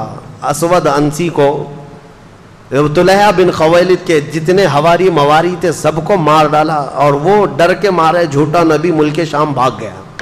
और रिवायत में है कि बाद में मुसलमान भी हो गया, छोड़ दिया। असवद अंसी जो था, उसको उसके करीबी लोगों ने मार डाला। हज़रत खालिद बिन वलीद की हैबत ऐसी तारी हुई। ये दो झूठों को मार करके हज़रत खालिद बिन वलीद फिर आए शुराबिल हसना के साथ। ये तीन हज़ार सहाबा की जमात थी। लेकिन जैसे ही गए, ये मुसलमा कज़ाब तीस हज़ार लोगों को जमा कर चुका था। मुझे हैरत होती है रसूलुल्लाह के ज़माने से ये ज़माना बहुत मिला हुआ है। इतने करीब के ज़माने में जब तीस हज़ार झूठे नबी को मानने वाले पैदा हो गए थे तो आज कादियानियों की जमात में क्यों नहीं जा सकते? होते हैं। या हमारे दौर का जो दज्जाल सौ साल पहले जो गुजरा गुलाम अहमद कादियानी इसने भी नबूवत का दावा किया, यह अहमदी जमात नाम से पूरी दुनिया में फैली हुई है, कादियानियों की जमात है। ये अपने आप को जमात अहमदिया कहते हैं। और सारे इंटरनेट पर भरे हुए हैं वेबसाइट इस्लाम नाम से जैसी खोलें तो अहमदी जमात की वेबसाइट खोलती हैं। याद रखना नौजवानों गलती से इनके जहर में ना चले जाना। सारी बातें वही करते हैं, लेकिन बाद में चल करके अपने झूठे नबी का अकीदा धीरे धीरे डालते हैं। और ये कहते नहीं, गुलाम अहमद कादियानी को नबी मान लो तो मोहम्मद सल्लल्लाहु अलैहि वसल्लम के खातमुन नबीन होने में कोई फ़र्क नहीं आता। वो रसूलुल्लाह खातमुन नबीन है, लेकिन ये भी नबी है। और ये ऐसा झूठा नबी जाहिल पंजाब का रहने वाला, कादियान पंजाब में और इसने अंग्रेज़ों की मदद से जो नबूवत का दावा किया था, और खुद के पता नहीं, ऐसी ऐसी चीज़ें गढ़ करके लाए। इसकी किताबें भी मौजूद हैं। क्या बकता था वो समझ में नहीं आता, और कहता, मेरे ऊपर वही आती है। और फरिश्ते वो भी वही इंग्लिश में लेकर आते थे। हाँ। इंग्लिश में दो फरिश्ते आते थे, टीसू टीसू, मीसू मीसू। और ये वही ये एक मज़ाक था, पूरी उम्मत ने उसका इनकार किया है, झूठे नबी का।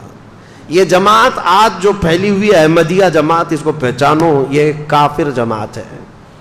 इसका इस्लाम से कोई ताल्लुक नहीं। रसूलुल्लाह के खातमुन्नबीन होने का अकीदा नहीं है तो मुसलमान हो ही नहीं सकता। अब उस वक्त की बात कर रहा हूँ, मुसलमा कसाब झूठा नबी, उसके साथ तीस हज़ार लोग खड़े थे, तीस हज़ार लोग। अब जब मुकाबले की बात आई तो सीधा मुकाबला हुआ था सहाबा का और उनका। लेकिन सहाबा में से तकरीबन सात सौ सहाबा हाफिज कुरान वहाँ शहीद हो गए थे। ये बहुत बड़ी तादाद थी शहादत की। पूरी तारीख में बता रहा हूँ मैं।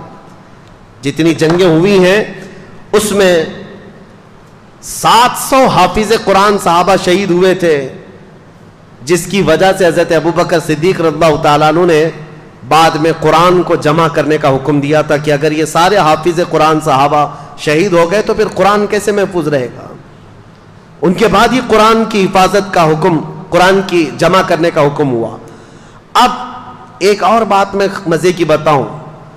जंग ओहद में हज़रत अमीर हमजा रदी अल्लाह तु को शहीद करने वाले एक हबशी गुलाम, जिनका नाम वहशी है। वो अबू सुफियान और हिंदा का गुलाम था, हिंदा का। हिंदा ने कसम खाई थी कि अमीर हमजा को कत्ल करने के बाद सीना चाक करके मैं कलेजा चबाऊँगी, क्योंकि उसके भाई और बाप का कत्ल किया था अमीर हमजा ने जंग बदर में। तो अमीर हमजा को कत्ल करने वाला वहशी नाम ही वहशी था, लेकिन काला, काले किस्म के हबशी अमीर हमजा को नेजा मार करके शहीद किया था, बहुत तीर अंदाज। ऐसा निशाना लगाने में माहिर, ऐसा निशाना कि बहुत दूर से अगर वो एक बारीक सी चीज़ को भी रख दिया जाए तो अपने नेजे से निशाने पर लगा देते तो अमीर हमजा उसके नेजे से शहीद हुए। लेकिन हैरत की बात यह है कि वह वहशी बाद में इस्लाम में दाखिल हुए और रसूलुल्लाह के सहाबी भी बने। मेरे आका ने बहुतों को माफ़ किया है, बहुतों को माफ़ किया है। लेकिन ये वहशी अब हम उन्हें हज़रत वहशी कहते हैं। हमेशा इस गम में रहते थे कि मैंने रसूलुल्लाह के चचा को कत्ल किया है। रसूलुल्लाह के करीबी चचा और सिपह सालार इस्लाम, बतल जलील, अल्लाह के शेर को मैंने कत्ल किया। अपने आप में वो गमगीन रहते थे कि मैंने कैसे को कत्ल किया। उसका कफारा उन्हें अदा करना था। फिर जैसे ही हज़रत खालिद बिन वलीद का ये लश्कर निकला था, मुसलमा कज़ाब को मारने के लिए। और जंग बहुत सख्त हो गई थी 700 साहबा शहीद हो गए थे। उस वक्त जानते हैं, सबसे अहम किरदार अदा किया था ये हज़रत वहशी ने। निशानाबाज की ज़रूरत थी। मुसलमा कज़ाब छुप छुप करके बैठता था। उसके अतराफ लोगों की भीड़ होती, छुपता था।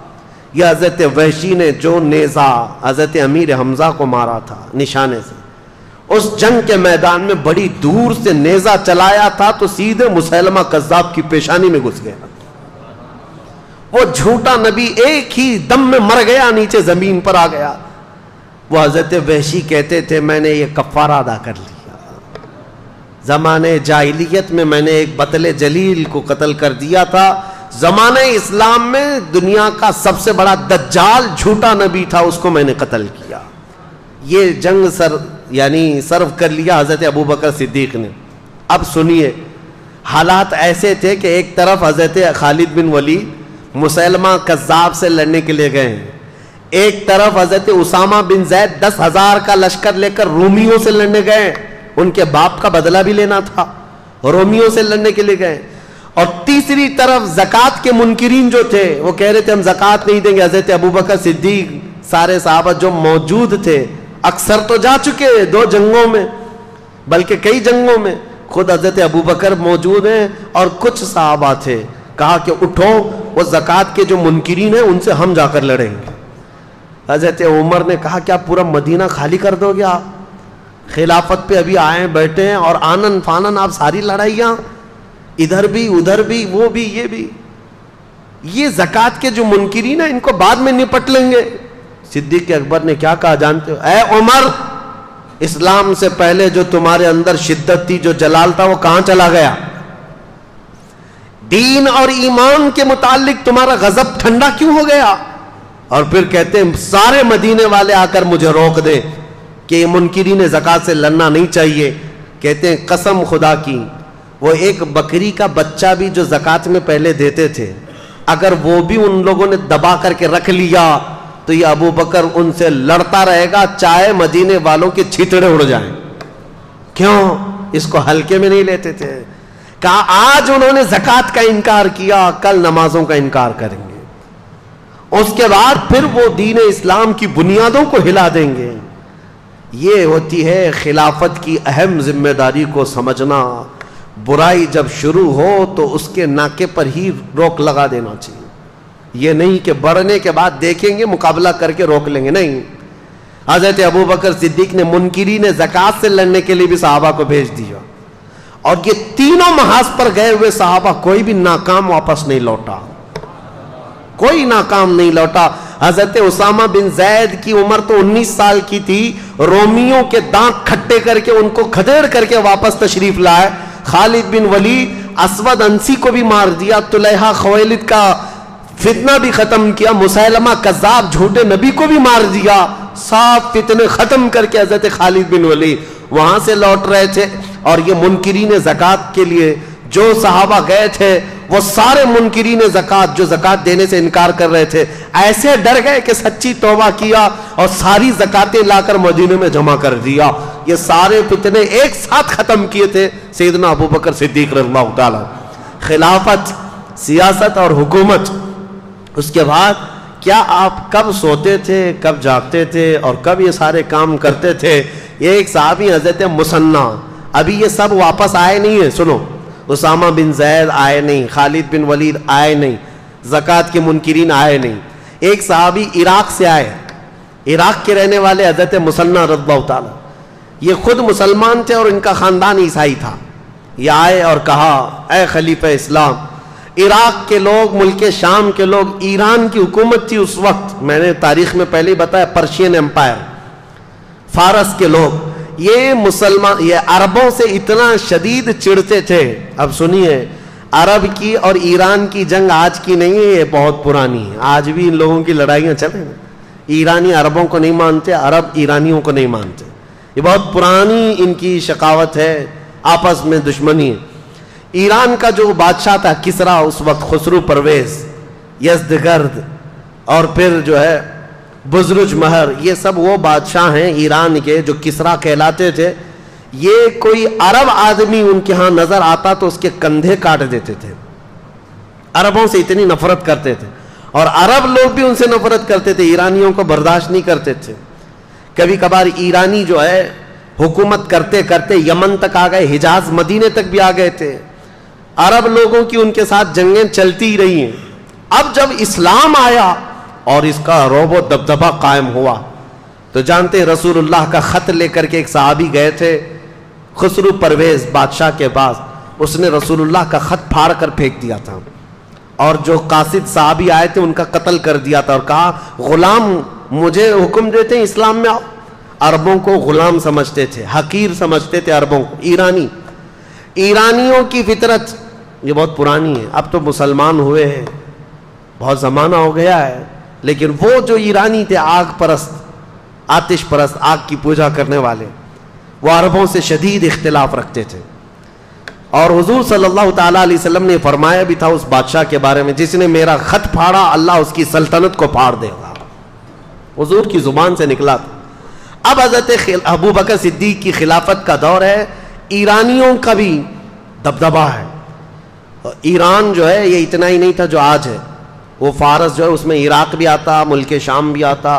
फिर एक रोम है, रोमन एम्पायर जो टर्की था। उस ज़माने में कुस्तुनतुनिया जो इस्तंबुल शहर है आज, ये रोम का दारुल खिलाफा था, कैपिटल सिटी थी, राजधानी थी। वहाँ से सारे रोमी हुकूमत करते थे। रोम के अंदर तकरीबन 40-50 आज की कंट्रियाँ आती थी उस ज़माने। तो एक तरफ़ वो थे, एक तरफ़ ये थे। तो हज़रत मुसन्ना जो इराक के थे, वो आकर हज़रत अबू बकर के पास इतना कहने लग गए कि इराक में हम चाहते हैं कि इस्लाम लेकर के जाएँ, वहाँ ईरानियों का बड़ा दबदबा है।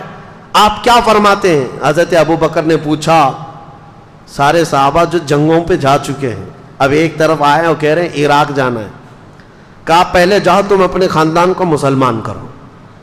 वो गए, उनका ख़ानदान, उनकी तबलीग पर पूरा इस्लाम लाया। हज़रत अबू बकर सिद्दीक सिर्फ़ हज़रत मुसन्ना के ख़ानदान को और चंद साहबा को कहते हैं, जाओ, इराक पहुंचो। और अगर ईरान के बादशाह का कोई वज़ीर जो वहाँ पर था, वहाँ पर जो मौजूद था, उसने अगर मुकाबला किया तो तुम उनके साथ जंग करना। ये हज़रत अबू बकर सिद्दीक के गैरत ईमानी देखो, जज्बा तो देखो। एक खानदान और थोड़े साहबा को ईरान जैसी हुकूमत के किसी वज़ीर से लड़ने के लिए भेज दिए। और वो सहाबी भी हैं, ऐसा नहीं कह रहे हैं, कहाँ भेज रहे हैं आप? वो भी ईमान कामिल के साथ चल पड़े। बीच रास्ते में थे, हज़रत खालिद बिन वलीद। ये मुसलमा कज्जाब को कत्ल करके आ रहे थे। हज़रत अबू बकर ने यहीं से खत लिख दिया खालिद बिन वलीद को कि मदीने मत आना। जितने साहबा तुम्हारे साथ बचे हैं, उन सबको लेकर के इराक की फतह करने चले जाना। मदीने आने तक भी नहीं दिया। हज़रत खालिद बिन वलीद खत को चूमते हैं और वहीं से इराक चल पड़ते हैं। उनमें से कोई एक ने भी ये नहीं कहा, घर जाएँगे, आराम करेंगे। हज़रत खालिद बिन वलीद अपने साहबा जितने थे, बचे हुए। उनको लेकर हज़रत मुसन्ना के साथ जमा हो गए और इराक की तरफ़ चल पड़े। अल्लाह अकबर। मैं अब ये सारी चीज़ें बयान भी नहीं कर पाऊँगा, इतनी फतुहात हज़रत खालिद बिन वलीद की हैं, नाम याद नहीं रह जाते। जाते साथ आपने इराक की सरहद पर दाखिला किया और जो वहाँ का बाजगुजार था, जो बादशाह बना हुआ इराक का था, वो ईरान का बाजगुजार, ईरान का वज़ीर था। वो भी कट्टर आतिश परस्त उसको सीधे हज़रत खालिद बिन वलीद ने यह पैगाम भेजा, इस्लाम लाओ, अमन के साथ रहो। या तो फिर हमें टैक्स दो, या हमारी हुकूमत को तस्लीम करो, या हमारे साथ जंग करो। इसलिए कि तुमने हमारे अरबों को बहुत मारा है। मुसलमानों को बहुत मारते हो। जैसे हज़रत खालिद बिन वलीद का ये खत पहुँचा तो इराक का जो बाज गुजार था, वह हैरत में आया, कहा, मुसलमानों की इतनी हिम्मत की यहाँ तक आ गए। और उसने ईरान के बादशाह को खत लिख करके भेजा कि एक लश्कर आया है मुसलमानों का। खत तो भेजा, लेकिन खुद अपनी फौज लेकर लड़ने के लिए आ गया दरियाए फुरात के करीब। और हज़रत खालिद बिन वलीद ने अपने सहाबा को उतारा मैदान में। दो दिन की जंग चली थी कि उस वज़ीर को ही कत्ल कर डाला। इलाका पूरा परचम इस्लाम से लहराया। यह पहली, पहला दखूल था हज़रत खालिद बिन वलीद का इराक में। इराक और उसके बाद जैसे जैसे आगे गुजरते गए। खुसरू परवेज जो बादशाह था ईरान का, उसे खबर मिली कि इराक में लोग दाखिल हो गए, मेरे वज़ीर को मार भी डाला। तो अपने दो मशहूर वजीरों को उसने तलब किया। जिनको उस जमाने की आग कहा जाता था, उनके साथ उस खसरू परवेज ने एक लाख की फौज देकर भेजा कि ये खालिद बिन वलीद का मारका सर कराओ। अब यहाँ हज़रत खालिद बिन वलीद के एंट्रेंस को रोकने के लिए ईरान की बहुत बड़ी फौज आई थी। हज़रत खालिद बिन वलीद सिर्फ़ ताकत और ये तलवार के जौहर से नहीं, अपनी हिकमत से जीतते थे। वह ऐसी हिकमत अपनाते थे जंगों में साहबा की टुकड़ियाँ कहाँ छुपाते किसी को पता भी नहीं चलता। हर एक को ताज़ा दम मैदान में उतारते थे। हर एक को जौहर के साथ उतारते। और जो दो आए थे, यजदगर्द उनका कुछ नाम था। ये जो ईरान के बादशाह के, उनका मुकाबला दरियाए फुरात पर हज़रत खालिद बिन वलीद ने ऐसा किया कि उनमें से एक को कत्ल किया और एक को वज़ीर के बादशाह के पास भागने पर मजबूर किया। और बाकी फौज को तितर बितर कर दिया और ईरानी फौज में ऐसी हैबत तारी हुई, ऐसी हैबत तारी हुई कि वो बिदके हुए घोड़ों की तरह भागते थे और कहते थे, जिन्नात आ गए हमारे यहाँ, जिन्नात आ गए ये चंद साहबा की जमात थी। इराक में दाखिल होते गए, दाखिल होते गए। इराक का काफ़ी हिस्सा खाली हो गया। तो हज़रत खालिद बिन वलीद ने हज़रत काका, एक साहबी हैं, उनको इराक का गवर्नर बनाया। और वहाँ से फिर निकल पड़े, कहा, मैं अब मुल्क शाम भी फतह करके रहूँगा। मदीने वापस नहीं आए। अल्लाह अकबर, उस बतल जलील को लाखों सलाम। खालिद बिन वली सैफुल्लामसलूल मैं सोचता हूँ, क्या उनका घर नहीं था, क्या उनके बीवी बच्चे नहीं थे, महीनों गुजारते थे। और खालिद बिन वलीद ने पूरा इराक फतह कर लिया था। इराक फतह करके वहाँ साहबा को गवर्नर बनाया और वापस निकले मुल्क शाम की तरफ़। मुल्क शाम आए हिम्स का इलाका हलब का इलाका, जहाँ रोमियों की हुकूमत थी। तो उन्होंने एक सुपर पावर से टक्कर तो ऑलरेडी ले ली थी। एक सुपर पावर पर्शियन एम्पायर थे। उनसे तो छेड़छाड़ हो गई थी, उनके हज़ारों को मारा भी था। मुल्क शाम में रोमन एम्पायर का कब्जा था। खालिद बिन वलीद ने उनको भी छेड़ दिया। दो बड़ी सुपर पावर ताकतें उस जमाने की, पर्शियन एम्पायर और रोमन एम्पायर, और दोनों को छेड़ने वाला, दोनों को उठाने वाला, और दोनों को खदेड़ने वाला एक ही साहबी खालिद बिन वली। एक ही साहबी। मुल्क के शाम में रोमियों का कब्जा था, जैसे ही दाखिल हुए। शामी जितने थे, उन लोगों ने कहा कि इनका मुकाबला हम अरबों से ही करते हैं। क्योंकि शाम के रहने वाले जो ईरान के थे, वहाँ के करीब शाम और ईरान पड़ोस में। तो वहाँ का जो बादशाह था, उसने कहा कि खालिद बिन वलीद का मुकाबला हमारी फौज से नहीं, अरबों से ही करते हैं, वो अच्छा जानते हैं। क्योंकि कुछ अरब भी वहाँ रहते थे और कुछ अरबों को खरीद करके लाए थे। एक पूरी जमात खड़ी कर दी अरबों को अरब से लड़ाने के लिए। लोगों ने पूछा भी, ये क्या कर रहे हो? कहा, लोहे को लोहा काटता है। उसने ये जुमला कहा था, लोहे को लोहा काटता है अरबों को अरब मारेंगे। लेकिन उन जालिमों को मालूम नहीं, एक तरफ़ हो सकता है लोहा है, दूसरी तरफ़ अल्लाह का शेर है। वहाँ सैफुल्लाह मसलूल है। और अरबों के इस कबीले को लाकर खड़ा किया, हज़रत खालिद बिन वलीद ने एक ही दिन में इन पूरे अरबों का काम तमाम कर दिया। एक ही दिन। इस पूरे सफ़र में सैदना खालिद बिन वलीद ने तकरीबन 26 जंगें लड़ी और हर जंग में फतह का झंडा लहरा है हर जंग में, इराक दाखिल हुए, शाम में दाखिल हुए हती कि वो आने को तैयार नहीं थे। खलीफा इस्लाम हज़रत अबू बकर का खत आया कि अब तो मदीने वापस आ जाओ। अब आ जाओ। अभी ईरान फतह नहीं हुआ था। जब हज़रत खालिद बिन वलीद को दोबारा बुलाया गया, तब वो वापस मदीने तयबा तशरीफ़ लाए। इतने इलाके कब्जा करके आए थे, फतह करके आए थे।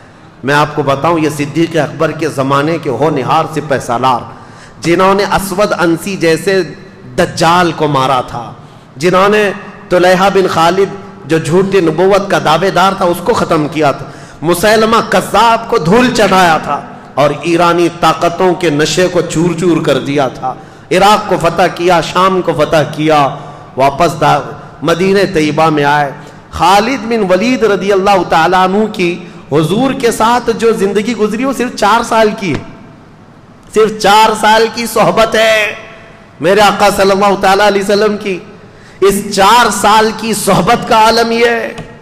और फिर फरमाते हैं, पूरी ज़िंदगी में उन्होंने 125 जंगें लड़ी इनशालाजीज कल इनकी बाकी जंगें भी बताऊँगा जो हज़रत उमर के ज़माने में लड़ी हज़रत उमर का दौर। ये खिलाफत सिद्दीक अकबर के अहम वाक़ात जो मैंने बताया आपको, फतूहत इस्लाम बढ़ती गई।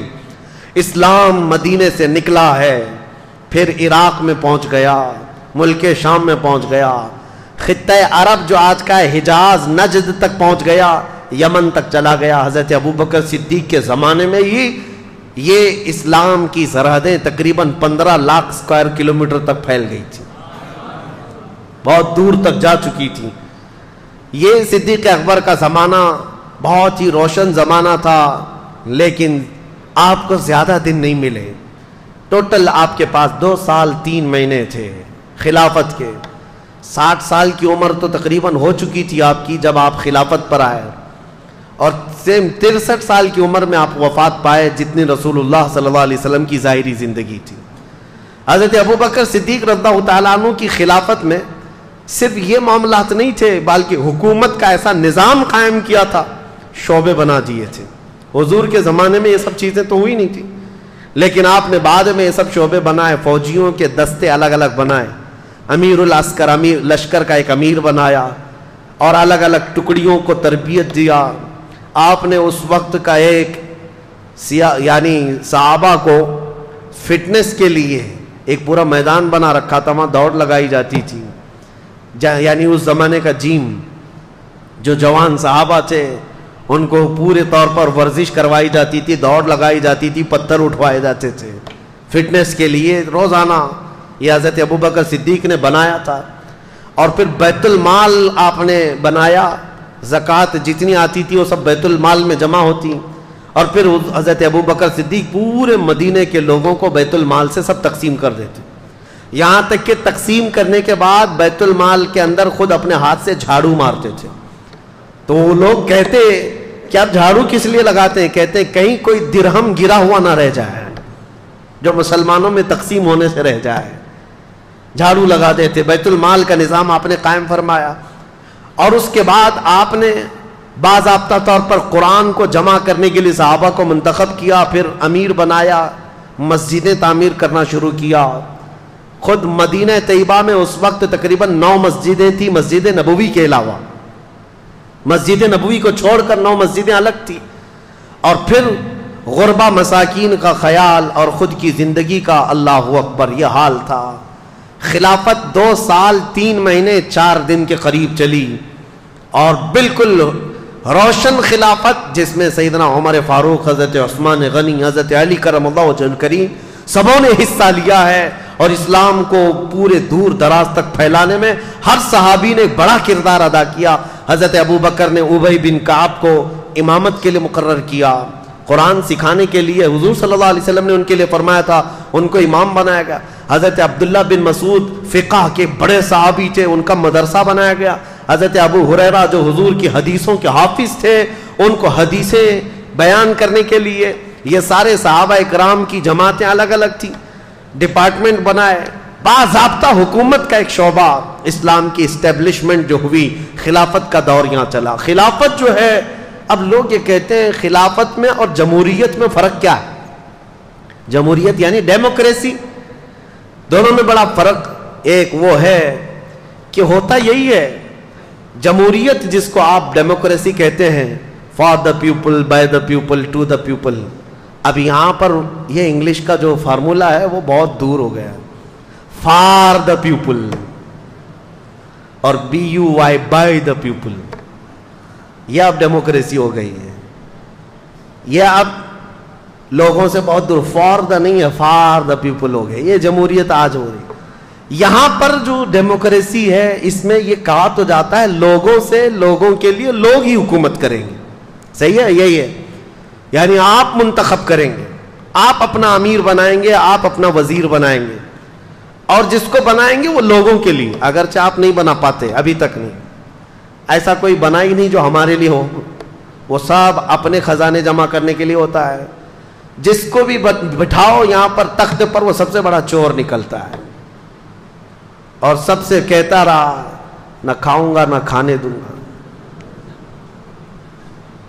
यह और बात है कि मेरे अज़ीज़, इस तरह के नारे डेमोक्रेसी में सुनने को मिलते हैं। सिद्दीक अकबर के ज़माने खिलाफत को क्या कंपेयर कर सकते खिलाफत क्या है? खिलाफत में और जमहूरियत में फ़र्क यह है कि यहाँ लोग कानून बनाते हैं। जमहूरियत में क्या होता है? कानून कौन बनाते हैं?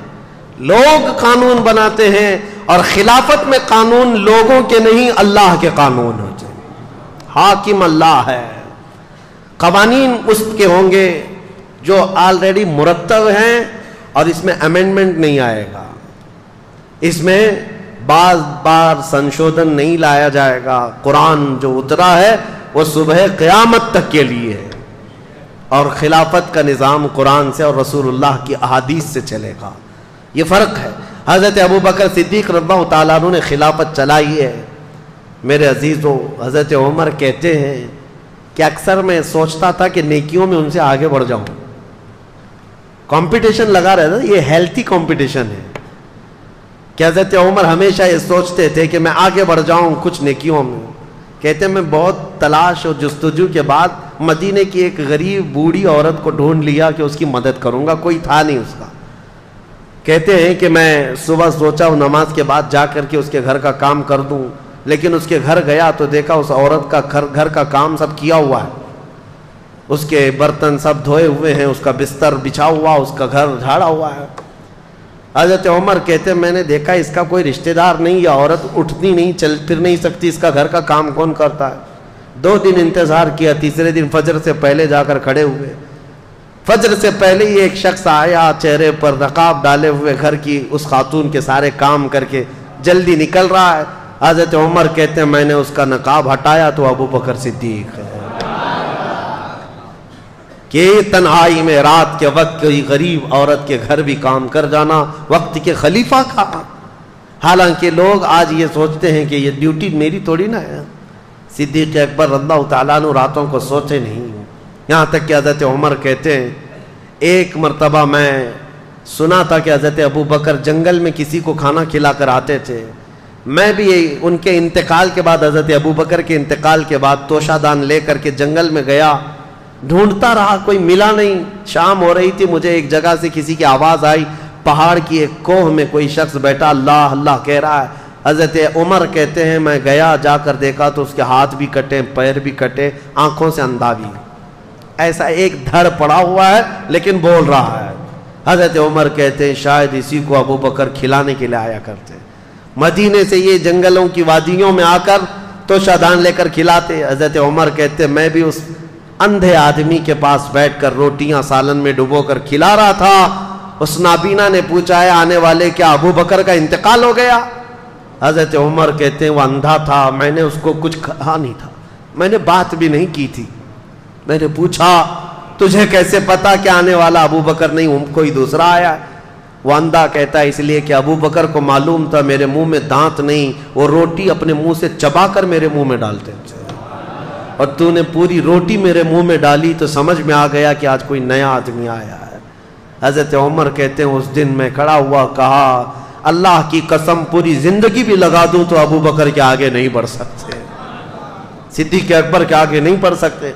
हज़रत उमर ये कहते भी थे हज़रत अबू बकर से, क्या अबू बकर, मेरी ज़िंदगी की पूरी नेकियाँ ले लो, पूरी नेकियाँ ले लो, वो एक रात मुझे दे दो जो गारे सौर में रसूलुल्लाह के साथ गुजारी थी। वो एक रात दे दो। वो ज़ाहिर सी बात है मेरे अजीजों, सिद्दीक अकबर हिजरत के वक्त साथ हैं। रसूल करीम सल्लल्लाहु अलैहि वसल्लम, जान, हदीसें आज भी उठाओ, बुखारी शरीफ, मुस्लिम शरीफ, हदीसों में आप पढ़ेंगे। कि रसूल करीम सल्लल्लाहु अलैहि फला जगह तशरीफ़ लाए, अबू बकर साथ में थे, उमर साथ में थे। पहाड़ पर गए, उहद पर रसूलुल्लाह और साथ में अबू बकर थे, उमर थे। जहाँ जहाँ देखो हदीसों में अबू बकर साथ है, उमर साथ है। यह हदीसों में मौजूद है। और सिद्दीक अकबर रदी अल्लाह तु का जमाना खिलाफत पूरे मदीने वालों के लिए ऐसा खुशगवार जमाना था। ठंडियों के दिन आए, जाड़े के दिन थे। सिद्दीक अकबर अल्लाह ने ठंडे पानी से गसल कर लिया, जाड़ा लग गया। सर्दी पकड़ ली। रबी आखिर का महीना था और इसी जाड़े की शिद्दत ने आपको ऐसा कमज़ोर कर दिया, इतना कमज़ोर कर दिया कि आप मर्जुल मौत में आ गए, मौत की बीमारी। बिस्तर पर आए, लोग आने लगे। उस वक्त आपसे भी ये कहा गया कि आप किसी को जानशीन मुकर करें। तो आपने सिर्फ़ ये कहा था कि उमर सबसे बेहतरीन शख्स हैं। तुम चाहो तो मंतखब कर लो अपने एतबार से। सिद्दीक अकबर अल्लाह तेरह रबी उसानी तेरह जमा रबी आखिर को इस दार फ़ानी से कूच कर गए। वो इस दुनिया से पर्दा फरमा गए, लेकिन ये वसीयत कर गए थे क्या मेरे लोगों ऐ मेरे साथियों, मुझे गसल देना, कफन पहनाना, मेरा जनाजा तैयार करके रसूलुल्लाह के हुजरे के सामने रख देना और इजाज़त लेना अल्लाह के रसूल, आपका दोस्त आपके साथ दफन होने की इजाज़त चाहता है। अगर इशारा मिल जाए तो मुझे हुजूर के साथ दफन कर देना और इजाज़त ना मिले तो जन्नतुल बकी में आम मुसलमानों के साथ दफन कर देना। सोचो मेरे अज़ीज़, साहबा का अकीदा क्या था? हुजूर की वफात हो चुकी।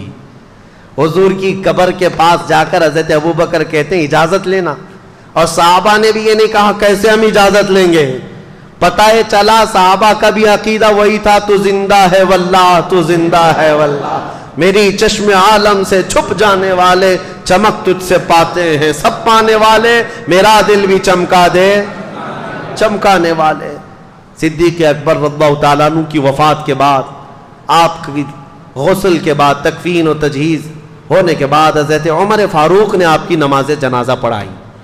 हज़रत उमर फ़ारूक रल्ला तु ने नमाज़ जनाजा पढ़ाई और उसके बाद जनाजा लाकर रसूल पाक सल्लल्लाहु अलैहि के हजरे के सामने रखा गया और पुकार करके हज़रत अब्दुलरहमान हुजूर सल्लल्लाहु अलैहि की बारगाह में अर्ज़ करते या रसूल अल्लाह अलैहिस्सलाम आपका खलील आपके साथ दफन होने की इजाज़त चाहता है। अभी साहबा मौजूद थे, वो बाहर खड़े होकर अर्ज़ कर रहे थे अचानक हुजरे रसूल के दरवाजे की चटखनी खुली, दरवाज़ा खुद से खुल गया। आवाज़ आई अदखिल हबीब हबीब हबीब को हबीब के साथ दाखिल कर दो। सिद्दीक अकबर रदी अल्लाह तु को बाजाबता अंदर दाखिल करके हुजूर के पहलू में, जहाँ से हुजूर का शाना शुरू होता है, कबर बनाई गई, लहद बनाई गई, और सिद्दीक अकबर अल्लाह तु को उस कब्र अनवर में दफन किया गया। सलाम हो उस तुरबत अनवर पर जिसने सबसे पहले इस्लाम कबूल किया, जिसने सबसे पहले रसूलुल्लाह का दामन थामा। और हर घड़ी एक जंग ऐसी नहीं, एक जिहाद ऐसा नहीं जिसमें सिद्दीक अकबर कभी पीछे रहे हो। साहबा कहते हैं, हज़रत अली करम करीम कहते हैं, वो बड़े बहादुर बतले जलील। कहते हैं, जंगे बदर में ऐसे हालात पेश आ गए थे कि हम लड़ने को तो तैयार थे, हर कोई लेकिन रसूलुल्लाह की हिफाजत का मसला सबसे बड़ा सख्त था। सब सहाबा इससे डरे हुए थे कि सहाबा में से कौन है जो रसूलुल्लाह की हिफाजत के लिए खड़ा होगा। क्योंकि अगर उनके होते हुए हुजूर की तक एक तीर भी पहुँच गया तो सुबह कयामत तक उस साहबी का नाम लिया जाएगा। इनके होते हुए रसूलुल्लाह को तीर पहुँचा था। साहबा इस ज़िम्मेदारी से डरे हुए थे। हज़रत अली करम करीम कहते हैं, बद्र के उस मैदान में सब सहाबा जहाँ डरे थे, सबसे पहले आगे आने वाले हिफाजत मुस्तफ़ा के लिए वो सिद्दीक अकबर की साथ थी। कहा, मैं आगे रहूँगा। हज़रत अबू बकर सिद्दीक बद्र के मैदान में हुजूर के मुहाफिज बनकर डिफेंस के तौर पर ऐसे खड़े थे। अजीजा ने ग्रामी, ये एक वक्त नहीं, हिजरत का सफ़र याद करो, जब मक्का से हिजरत करके मदीने मेरे आका जा रहे हैं, गारे सौर में सांप से अपने आप को डसवा लिया, लेकिन पैर नहीं हटाया। जान जाने के करीब थी, लेकिन हुजूर की नींद उनको अज़ीज़ थी। और सफ़र में जब चल रहे थे, कभी हुजूर के आगे जाते, कभी पीछे जाते, कभी दाएँ, कभी बाएँ। हुजूर ने पूछा, अबू बकर, ये क्या कर रहे हो? रास्ते में चल रहे हो, कभी आगे जाते हो, कभी पीछे, कभी दाएँ, कभी बाएँ। सिद्दीक अकबर कहते हैं, या रसूल अल्लाह दुश्मनों के हमले का मुझे खौफ है। कभी तीर से इधर ना आ जाए, कभी इधर से तीर ना आ जाए, कभी इधर से ना आ जाए। बार बार डर करके चारों तरफ़ हुजूर के घूमते थे कि कोई तीर आए तो हुजूर तक नहीं, पहले मुझे लग जाए। हुजूर की हिफाजत का इस कदर ख्याल करने वाला मुसलमानों का अजीम खलीफा। और फिर जानते हो, मदीना करीब आ रहा था। हिजरत के वक्त उनकी वो अदा मुझे बड़ी अजीब लगती है, बड़ी भा जाती है। किसी की सोच वहाँ तक नहीं जाती। हुजूर के साथ सिद्दीक अकबर आ रहे मदीने में। मदीने वाले बेताब थे, बेकरार थे। हुजूर का इस्तकबाल करने के लिए पूरे ऊँचे टीले पर खड़े हो गए थे सनीयतुल वदा की घाटी में। बच्चियाँ हैं, जवान हैं, बूढ़े हैं। हुजूर की एक झलक देखने के लिए खड़े थे। और जब अबू बकर सिद्दीक और रसूलुल्लाह मदीने के करीब तर आने लगे। सिद्दीक अकबर ने क्या किया? अपना जुब्बा उतार दिया। अपना जुब्बा उतार करके, ऊँचा करके रसूलुल्लाह पर साया करने लग गए। हुजूर सल्लल्लाहु अलैहि वसल्लम पर कपड़ा इस तरह साया करके चलने लगे। पूरे सफ़र में तो ये नहीं किया। मदीना दिखने लगा तो जुब्बा उठाकर साया करने लग गए। हुजूर ने पूछा अय अबू बकर, ये क्या कर रहे हो? सिद्दीक अकबर का ईमान देखो। कहते या रसूल अल्लाह मदीने वाले नए लोग हैं। अभी उन्होंने आपको देखा नहीं, कहीं अनजान में मुझ जैसे गुलाम को वो रसूल ना समझ ले। मैं अपना जुब्बा उठाकर आप पर साया इसलिए कर रहा हूँ ताकि दुनिया हमेशा पहचाने, गुलाम गुलाम होता है, रसूलुल्लाह के साथ ये चल रहा है। मेरे अजीजों, सिद्दीक अकबर का ये ईमान, ये जज्बा, ये हज़ारों फजीलतें हैं। मैं आज उनकी खिलाफत का असल दौर, उनकी खिलाफत की फतूहत अर्ज़ करने आया था तारीख। खिलाफत जिस दिन से कायम हुई और उनकी वफात तक दो साल, तीन महीने, चार दिन ऐसे सुनहरा ऐसा सुनहरा दौर था कि आज भी तारीख में रकम है। अपने तो अपने गैरों ने भी इसका इकरार किया है। अबू बकर और उमर जैसी खिलाफत दुनिया में देखी ही नहीं गई है। हज़रत अबू बकर सिद्दीक रदी अल्लाह तु की वफात के बाद जो हालात पेश आए, मेरे अजीजों, वो बहुत अजीम हालात हैं, क्योंकि हज़रत उमर का दौर आने वाला है। लेकिन इतनी बात मैं अर्ज़ करूँगा, सिद्दीक अकबर की खिलाफत का दौर खत्म होने के बाद हमारी तकरीर आज इस बात पर खत्म होती है। ऐसे निकम्मे उनको क्या खिराज अकीदत पेश करें? आज मुझे अफसोस होता है उन बदबक कीड़ों पर जो सिद्दीक अकबर पर उंगली उठाते हैं। कभी उनकी खिलाफत पर, कभी उनकी सियादत पर, कभी उनकी इमारत पर। याद रखो, आज लोग किसी न किसी तरह तुम्हारे मोहल्लों में दाखिल होकर के अलग अलग शोशे छोड़ रहे हैं। इनका पहला नंबर, उनका पहला नंबर। नहीं, रसूलुल्लाह के बाद पूरी उम्मत में सबसे अफजल कोई है, वो सिद्दीक अकबर की साथ है। यही अकीदा हर सुन्नी का होना चाहिए। अब उनकी फजीलत में एक ही जुमला काफ़ी एक जुमला काफ़ी है। मेरे आका का फरमान, मैं क्या बयान करूँ? खुद रसूलुल्लाह फरमाते हैं, अपने आखिरी दौर में। हुजूर फरमाते हैं, मेरे साथ जितने लोगों ने अच्छा सुलूक किया था, जितने लोगों ने मेरे साथ एहसान किया था, मैंने सबके एहसान का बदला चुका दिया, सिवाय अबू बकर सिद्दीक के। हुजूर फरमाते हैं, अबू बकर सिद्दीक के एहसान का बदला मैं नहीं दिया। ये मेरे आका ने फरमाया, खुद रसूलुल्लाह ने फरमाया, अब उम्मत क्या बदला चुका सकेगी? इसीलिए मैं कहता हूँ, सिद्दीक अकबर की जात ऐसी है जिनका एहसान पूरी उम्मत पर सुबह क्यामत तक रहेगा। पूरी उम्मत पर है। सलाम हो उस तुरबत अनवर पर। करोड़ों रहमत नाजिल हो सिद्दीक अकबर की ज़ात पर। मौला करीम, तेरी बारगाह में दुआ है। ये चंद मुसलमानों की सुन्नी सयूल अकीदा जमात तेरी बारगाह में दुआ ये करती है कि मौला, गुमराह अकीदों से हमारी हिफाजत फरमा। और कयामत के दिन जब हमें तू उठाए तो सिद्दीक अकबर के साथ रसूलुल्लाह की जमात में हशर फरमा। व आखिर दावाना अलहमदिल्ला रबालमी